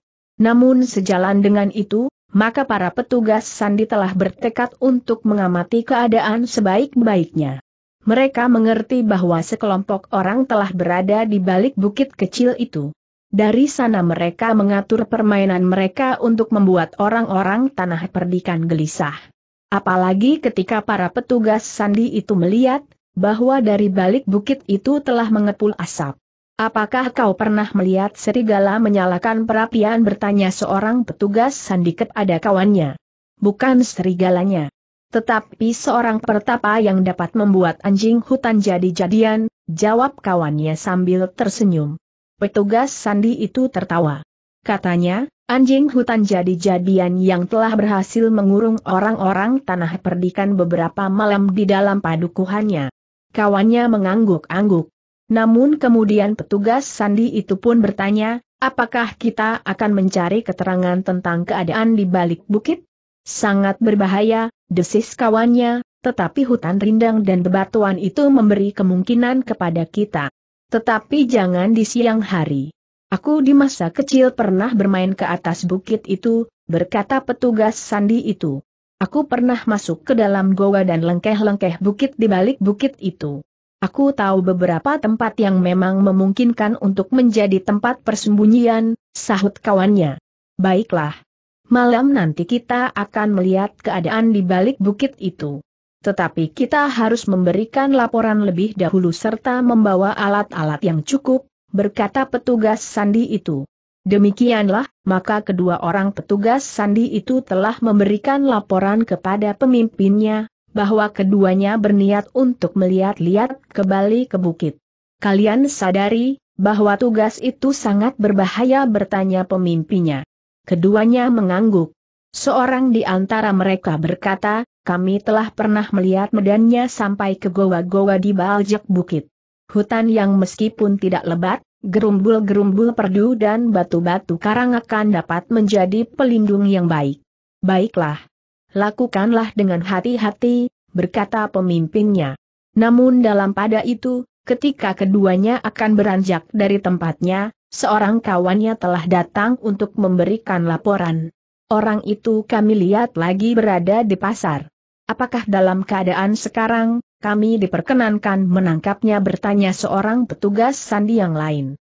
Tetapi dengan serta-merta petugas sandi yang ingin pergi ke balik bukit itu berkata, jangan. Biarlah mereka. Tidak merasa dirinya diketahui. Bahkan ada usaha untuk melihat sampai ke sarang mereka. Bukankah mereka hari ini tidak akan mendapatkan keterangan apa-apa selain keterangan tentang para pengawal yang telah bersiap-siap di segala tempat? Tanpa datang dan melihat pun mereka sudah dapat memperhitungkan Apalagi di antara mereka terdapat orang-orang yang memang pernah tinggal di tanah perdikan ini. Pemimpin pengawal itu sependapat. Karena itu, maka katanya, baiklah. Kita akan membiarkannya. Tetapi awasi, apa yang dilakukannya di pasar atau pada saatnya pergi, ikutilah sejauh dapat kau lakukan tanpa diketahuinya. Petugas sandi yang datang dari pasar itu pun kemudian telah minta diri untuk kembali ke pasar, sementara dua orang yang lain telah pergi pula untuk mempersiapkan diri. Dalam pada itu, ketika seorang petugas melihat topeng yang terpasang di luar regol padukuhan induk itu agaknya masih tetap sepasang. Karena itu, maka para pemimpin tanah perdikan itu menduga bahwa masih belum akan terjadi gerakan yang menentukan dari orang-orang yang berada di balik bukit. Namun para pemimpin tanah perdikan itu tidak menjadi lengah. Topeng itu bukan pegangan yang dapat dianggap menentukan, karena para pemimpin tanah perdikan itu masih belum tahu arti yang sebenarnya dari topeng itu. Dalam ketegangan itu, maka Sambi Wulung dan Jati Wulung ternyata telah membuat rencana sebagaimana dilakukan oleh para petugas sandi. Mereka pun merasa perlu untuk melihat ke balik bukit.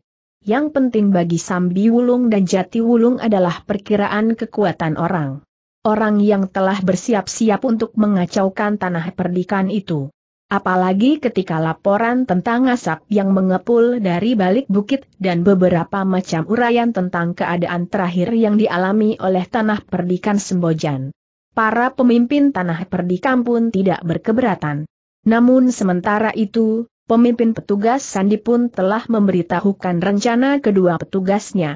Mereka sudah mengenal medannya, berkata pemimpin petugas sandi itu. Jika demikian, biarlah mereka pergi bersama kami, berkata Sambi Wulung. Sebenarnya lah empat orang dari tanah perdikan itu pun telah mempersiapkan diri untuk mendekati goa-goa di balik bukit. Sambi Wulung dan Jati Wulung adalah pemanah-pemanah yang baik. Di Song Lawa mereka mampu mengejutkan semua orang dengan kemampuan mereka memanah. Karena itu, untuk menjaga segala kemungkinan, maka keempat orang itu pun telah membawa busur dan anak panah yang cukup selain senjata yang biasa mereka pergunakan. Pedang. Demikian ketika senja turun, maka Sambi Wulung, Jati Wulung dan kedua petugas sandi telah siap untuk pergi ke bukit. Mereka pun kemudian telah minta diri kepada para pemimpin termasuk Iswari dan ketiga orang gurunya. Demikian langit kembali gelap, maka mereka pun telah berangkat. Mereka sengaja menghindari orang-orang di sepanjang jalan.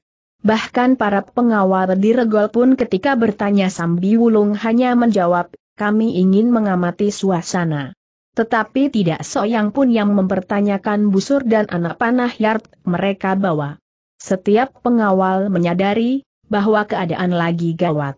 Dengan anak panah, maka keempat orang itu akan dapat menyerang lawannya pada jarak yang masih jauh.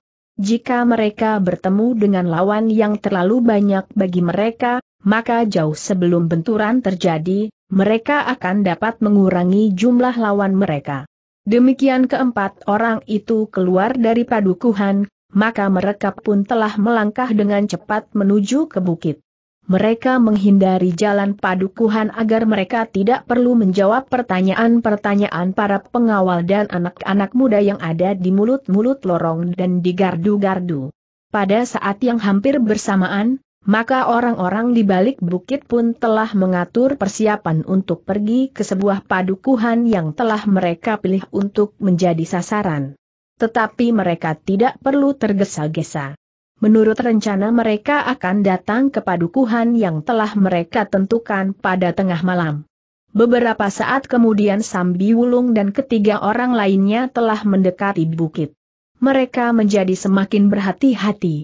Mereka pun menyadari bahwa orang-orang yang berada di balik bukit itu pun tentu telah menyebarkan beberapa orang untuk mengamati keadaan.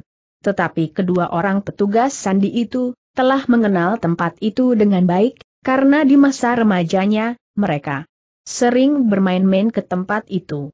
Bahkan yang seorang di antara mereka telah sampai ke balik bukit itu pula. Pada saat-saat Iswari menegakkan pemerintahan di tanah perdikan itu, rasa-rasanya keadaan tanah perdikan itu cukup tenang. Namun tiba-tiba saja tanah perdikan itu kini telah diguncang oleh kegelisahan. Dengan demikian, maka, mereka tidak terlalu banyak mengalami kesulitan. Mereka telah melintasi hutan rindang, kemudian padang perdu yang terasa liar dan gersang. Bebatuan dan lekuk-lekuk bukit yang dibuat oleh arus air yang tidak terkendali. Keempat orang itu merayap dengan hati-hati. Bukan saja karena mereka menghindari penglihatan para pengamat yang mungkin dipasang, mereka pun harus menghindari lereng-lereng terjal berbatu padas. Untunglah bahwa cahaya bulan di langit cukup cerah.